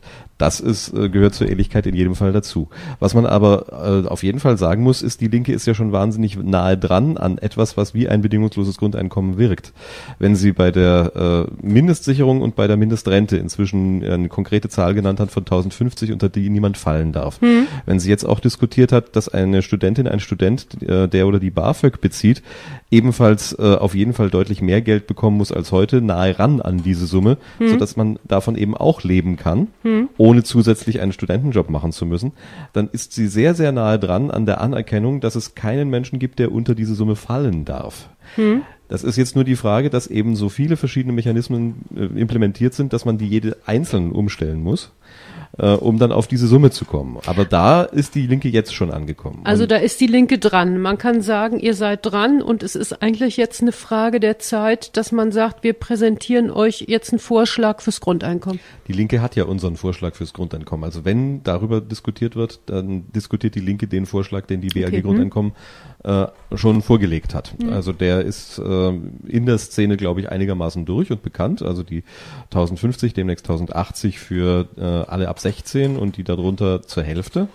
Äh, dafür dann aber ganz viele andere öffentliche Leistungen äh, perspektivisch umsonst, wie öffentlichen Nahverkehr und solche Sachen. Äh, das steht da alles in dem Konzept drin und wir sind doch soweit auch in der Partei bekannt, dass wenn die Partei über dieses äh, Thema redet, redet sie über unser Konzept. Wo kann man sich das denn mal angucken, danach lesen, wenn einen das interessiert? Auch das gibt's im Internet unter www.die-linke-grundeinkommen.de. Okay. Das ist auch zu erreichen über die Archivgrundeinkommenseite vom Netzwerk. Alles vernetzt, alles verlinkt. Und das ist eine so wunderschön aufgebaute Seite, dass man da sowohl das aktuelle Konzept sehen kann, als auch die vielen einzelnen äh, Aktivitäten, die dort gemacht werden. Äh, wie gesagt, wir basteln unter anderem jetzt auch an unserem Stofftransparent für die Demo am 14. Und was das Schöne an der Linken ist und weswegen ich glaube, dass es ganz wichtig ist, dass es Parteien gibt, weil wir das Thema ja mal grundsätzlich noch so an der Frage hatten. Am selben Tag ist ja auch die Umfair-Teilen-Demo, die einen ganz ähnlichen Schlusspunkt hat, die aber woanders startet und die auch sehr stark von Gewerkschaften getragen wird.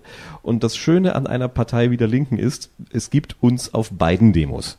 Das heißt also, wir werden aus verschiedenen Richtungen aufeinander zulaufen und zum Schluss dann an einem gemeinsamen Punkt ankommen. Und das ist jetzt nicht nur Ist rein räumlich in Berlin gemeint, sondern ich denke, das ist auch so eine Art und Weise politischer Herangehens. Eine Partei ist darauf angewiesen, in verschiedensten Szenen präsent zu sein. Wir sind als BAG Grundeinkommen in der Grundeinkommensszene präsent. Selbstverständlich sind die gewerkschaftspolitischen Sprecher der Partei in den Gewerkschaften präsent, bei Verdi, bei IG Metall und bei der äh, Gewerkschaft Erziehung und Wissenschaften und was es da sonst noch alles gibt.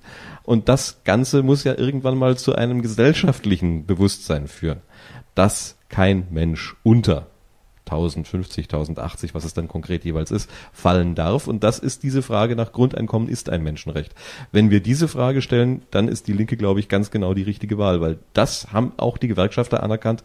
Auch wer nicht arbeitet, wer nicht im Erwerbsarbeitsprozess steckt, darf nicht unter diese Summe fallen. Mit der Mindestsicherung ist das anerkannt und darf nicht sanktioniert werden. Und deswegen, glaube ich, ist die Linke sehr, sehr weit in Richtung auf ein bedingungsloses Grundeinkommen und kann also ohne weiteres äh, von Grundeinkommensbefürworterinnen und Befürwortern gewählt werden am 22. September. Wenn ich das nochmal so sagen darf, also selbst die Kräfte in der Linken oder die Parteimitglieder in der Linken, die nicht für ein Grundeinkommen sind, sind aber eben trotzdem dafür, dass kein Mensch unter eine bestimmte Summe gedrückt wird. Genau, Ne? und das ist ja jetzt die, äh, die Diskussion, die wir in der Partei eben führen, die sagen, damit sind wir doch schon für ein Grundeinkommen, was wollt ihr denn von uns dann noch? Und dann ist diese Diskussion, warum ist eigentlich ein Grundeinkommen wirklich jeder und jedem zu zahlen und warum kriegt es der Millionär oder die Millionärin auch? Und äh, da setzt es dann meistens aus, weil ja Millionäre, äh, Millionärinnen äh, letztlich gar nichts von den Linken zu kriegen haben und sei es nur 1050 Euro im Monat. Und diese Diskussion führen wir über die Systematik, warum ist es richtig, dass jede und jeder das kriegt, damit man überhaupt das Bewusstsein dafür hat, dass jede und jeder gleichwertig ist. Das ist ja bisher in der Gesellschaft überhaupt nicht vorhanden. Dass es diese grundsätzliche Gleichheit auch gibt. Und äh, genau deswegen finde ich die Diskussion so spannend und finde ich es auch so schön, dass wir diese Diskussion im äh, Juni oder September 2014 auf dem Bundesparteitag haben werden. Mhm. Ja, genau, so ein wichtiger Punkt. Ne? Äh, warum soll es jeder bekommen? Ich glaube, also die Stigmatisierung fängt ja bei solchen Sachen immer da an, wenn es nur eine Gruppe bekommt. Und wenn man jetzt sagen würde, wenn man sogar sagt, Millionäre selbst bekommen das, dann ist wirklich keine Stigmatisierung da. Und das wäre, das sind immer so Gefahren bei sowas, ne? Das Grundeinkommen, es birgt immer so das bedingungslose Grundeinkommen als Idee. Man kann es auch missbrauchen, ne? Man kann es auch wirklich so gestalten, dass es gar kein Grundeinkommen ist, obwohl es ein Label haben könnte. Das wäre die Gefahr, ne? Und es gibt ja in letzter Zeit auch Leute, die da, da auch drauf reinspringen, äh, raufspringen auf den Zug. Und ähm, zum Beispiel, also ich, ich bin jetzt so, ich bin jetzt ganz normal, nicht parteiorganisierter, ganz normaler Bürger ne, und sage, naja, aber wenn, wenn das ein Millionär bekommt, dann ist das wirklich keine Stieg, also dann, dann kann jeder sagen, aber der bekommt es ja auch, also es ist ja für jeden, ne? Und dann ist halt eben gar keine Stigmatisierung da. Und das ist halt immer die Gefahr bei solchen sozialen äh, äh, Initiationen oder so, dass immer ganz schnell die Stigmatisierung da kommt und dann plötzlich eigentlich was ursprünglich als gut gedacht war, eigentlich am Ende was Furchtbares ist für die Leute. Das finde ich auch sehr gut, dass du das nochmal betonst. Das ist auch ein guter Gedanke, dass einfach etwas, was alle bekommen, also heutzutage ist es ja so, äh, wer Sozialleistung bekommt, hat gleich irgendwie einen bestimmten Stempel aufgedrückt bekommen. Ne? Und deshalb, also sehr gut nochmal zum Nachdenken. Hm? Das ist, glaube ich, der Stempel, da ist die Linke noch dabei, sich das erst zu erarbeiten, dass Millionärinnen und Millionäre auch keinen Stempel aufgedrückt bekommen dürfen. Das ist so ein Reflex, so die sind die ja schon. Die können nichts dafür, ne? Auch dafür können sie eigentlich schon was, dass sie im Rahmen des Kapitalismus so erfolgreich gewesen sind und geworden sind. Äh, aber das heißt ja trotzdem nicht, dass sie dadurch ihre Mensch, äh, Menscheneigenschaft verlieren. Und das ist die Diskussion, die wir, glaube ich, ganz grundsätzlich haben in den Linken und die wir weiterführen müssen. Kann es auch sein, dass wir da auch das Problem haben, dass beim, bei den Linken immer von Arbeitnehmern und Arbeitgebern gesprochen wird und nie von eigentlich ja, Unternehmern oder Selbstständigen, das, was wir eigentlich ja alle sind, schon vom Mensch her? Also die Diskussion, ob man äh, stattdessen äh, Erwerbsarbeitsplatz oder Erwerbsarbeit sagt statt Arbeitnehmer und dergleichen, die haben die ist, die ist bei nee, den die meine ich, die meine ich nicht, Aber sondern dass man immer davon ausgeht, dass eigentlich ein Mensch immer irgendwo Arbeit von einem Arbeitnehmer äh, zu bekommen hat sozusagen, äh, von einem Arbeitgeber. Und statt einfach Nee, das ist nicht die linke Grund, Position, das, mit einem das Grund kannst du glaube ich, ich immer so das Gefühl, das glaube ich, kannst du kannst du wesentlich mehr in der SPD fragen. Äh, bei den Linken ist es schon so, dass die eigentlich davon ausgehen, äh, dass äh, die genossenschaftliche Art, sich zu organisieren, diejenige ist, die äh, die Wirtschaft äh, in Gang halten sollte. Das heißt also, es gibt immer wieder den Satz, auf den die Linke rekurriert, die freie Kooperation freier Bürger aus dem kommunistischen mhm. Manifest. Also das ist immer wieder die Geschichte, wir wollen eigentlich das so, wie es jetzt gerade organisiert ist, nicht. Und aber was wollen wir stattdessen? Und wie frei ist eine freie Kooperation und äh, wie eng ist auch eine Genossenschaft organisiert und wie stark könnten genossenschaftliche Unternehmen werden, auch jetzt schon unter den Bedingungen des Kapitalismus, damit man quasi so trojanische Pferde hat. Wir reden die ganze Zeit eigentlich über trojanische Pferde. Mhm. Das bedingungslose Grundeinkommen wird von Katja Kipping gerne als ein trojanisches Pferd bezeichnet. Die genossenschaftliche Organisation der Wirtschaftsweise wird gerne von äh, Bernd Rieksinger als ein trojanisches Pferd bezeichnet. Die beiden sind Parteivorsitzende, da merkt man auch dann dann so unterschiedliche Vorstellungen, aus welcher Gegend man dann sich dem Problem nähert. Aber auch beides hat ja jetzt in der letzten Zeit gezeigt, funktioniert auch, wenn man es zusammendenkt. Es ist ja nicht so, dass sich das alles ausschließt, sondern dass man mehrere Ideen haben muss, um dann schließlich zu einer anderen Gesellschaftsordnung zu kommen. Und ich glaube, insofern ist das mit den beiden Demozügen, die sich dann am selben Endpunkt treffen, nicht wirklich nur konkret, sondern auch sehr philosophisch und auch sehr, äh, naja. Eine Geste, äh, also sozusagen. Ja, äh, zukunftsmäßig äh, zu verstehen. Micha, ist das, bist du damit zufrieden? Nein, nein, aber wir haben nur noch fünf Minuten und okay. deshalb halte ich jetzt einfach mal die Klappe. Machen wir nach der Sendung weiter. Olaf. Was hätte ich da jetzt noch zu sagen? Die ich, letzte frohe Botschaft für heute. Die, die letzte frohe Botschaft ist, dass äh, das bedingungslose Grundeinkommen eine Philosophie ist, die so überzeugend ist, wenn man sich intensiv mit ihr beschäftigt, dass es eigentlich nur um, wir sind ja beim BGE Papst, nur mhm. um die Verkündung einer Frohbotschaft hast du schon vom bedingungslosen Grundeinkommen gehört und nimmst du das bedingungslose Grundeinkommen als deinen persönlichen Retter an, äh, weitertragen kannst. Also wenn du auf diese Art und Weise vielen Menschen äh, mitteilst, dass es so eine Idee überhaupt gibt, dann könnte ich mir vorstellen, dass auch viele Menschen, egal wo auf der Welt, wieder ein eine Hoffnung haben, dass es besser weitergehen kann, als es die letzten Jahrzehnte weitergegangen ist. Das ist ein schönes Schlusswort von Olaf. Wir wollen natürlich auch von Jarek noch ein schönes Schlusswort hören. Jetzt fühle ich mich aber unter Druck gesetzt. Ja, das kann man ein nicht mehr toppen, oder?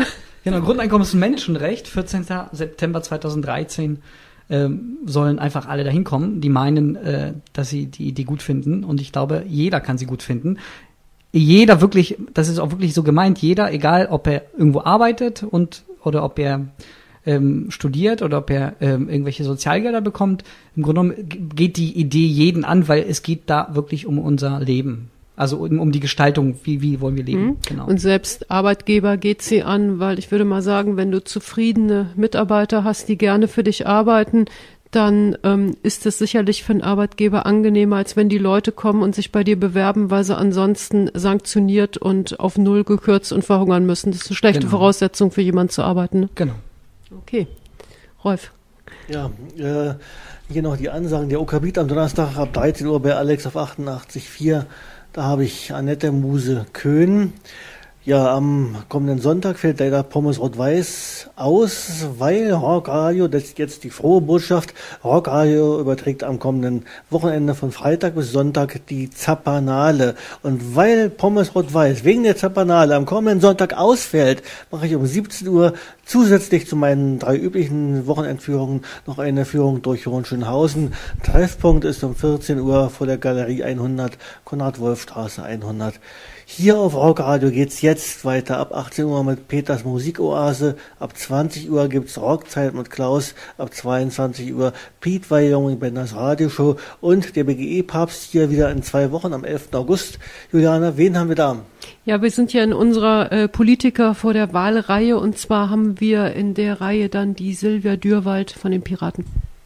Und Micha, hast du noch etwas zu sagen? Ja, so wie immer, ja, die, die Schlussworte überlasse ich dir. Danke. Ja, nee, ich würde höchstens nochmal auf die äh, Plattform Grundeinkommen ist wählbar auf, äh, aufmerksam machen wollen wo sich jeder informieren kann über äh, BGE-Kandidaten, die ja entweder ja wie die Piraten oder die parteilosen Direktkandidaten schon ja direkt fürs Grundeinkommen äh, einsetzen können, sich einsetzen können, oder eben halt äh, Parteikandidaten von den Linken, den Grünen, die Violetten sind mit drinne, äh, die sich offen fürs Grundeinkommen eben halt aussprechen, aber es sich noch nicht aufs Parteiprogramm sozusagen mit raufschreiben können, weil es die Parteien selber noch nicht abgesegnet haben.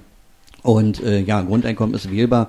Äh, wenn noch irgendjemand einen kennt, einen parteilosen Kandidaten oder jemand anderen, der irgendwie kandidiert fürs Grundeinkommen, dann bitte melden und dort übers Formular sich eintragen mit einem kleinen Statement, Link dazu und so weiter. Das wäre mal noch von mir aus. Ich mache die Schlussrunde. Ich bedanke mich ganz herzlich bei Olaf Ostertag von der Liga. Herzlichen Dank nochmal für die Einladung und bei Jarek. Und zwar ist er der Initiator der Demo am 14.09. Grundeinkommen ist ein Menschenrecht. Ja, auch ich danke natürlich für die Einladung und dass ich hier sein durfte. Ne? Ja, und wir danken noch denen, die im Chat sind. Das war nur einer. ist auch noch der Klaus Aber wie gesagt, Leute, wenn ihr heute lieber am Strand oder Strand haben wir nicht, am Wannsee lagt, dann könnt ihr die Sendung nochmal nachhören. Genau. Und äh, ja, vielleicht sollte man irgendwie noch dafür stimmen oder sich einsetzen, dass es so eine Webradios auch für den Strand irgendwie gibt, dass man da hören kann. Hier in der Danziger 50 waren zugegen Juliane Bär noch, äh, Michael Fielsch, mein Name Rolf Gensrich. Machen wir Schluss für heute. Und tschüss. Tschüss.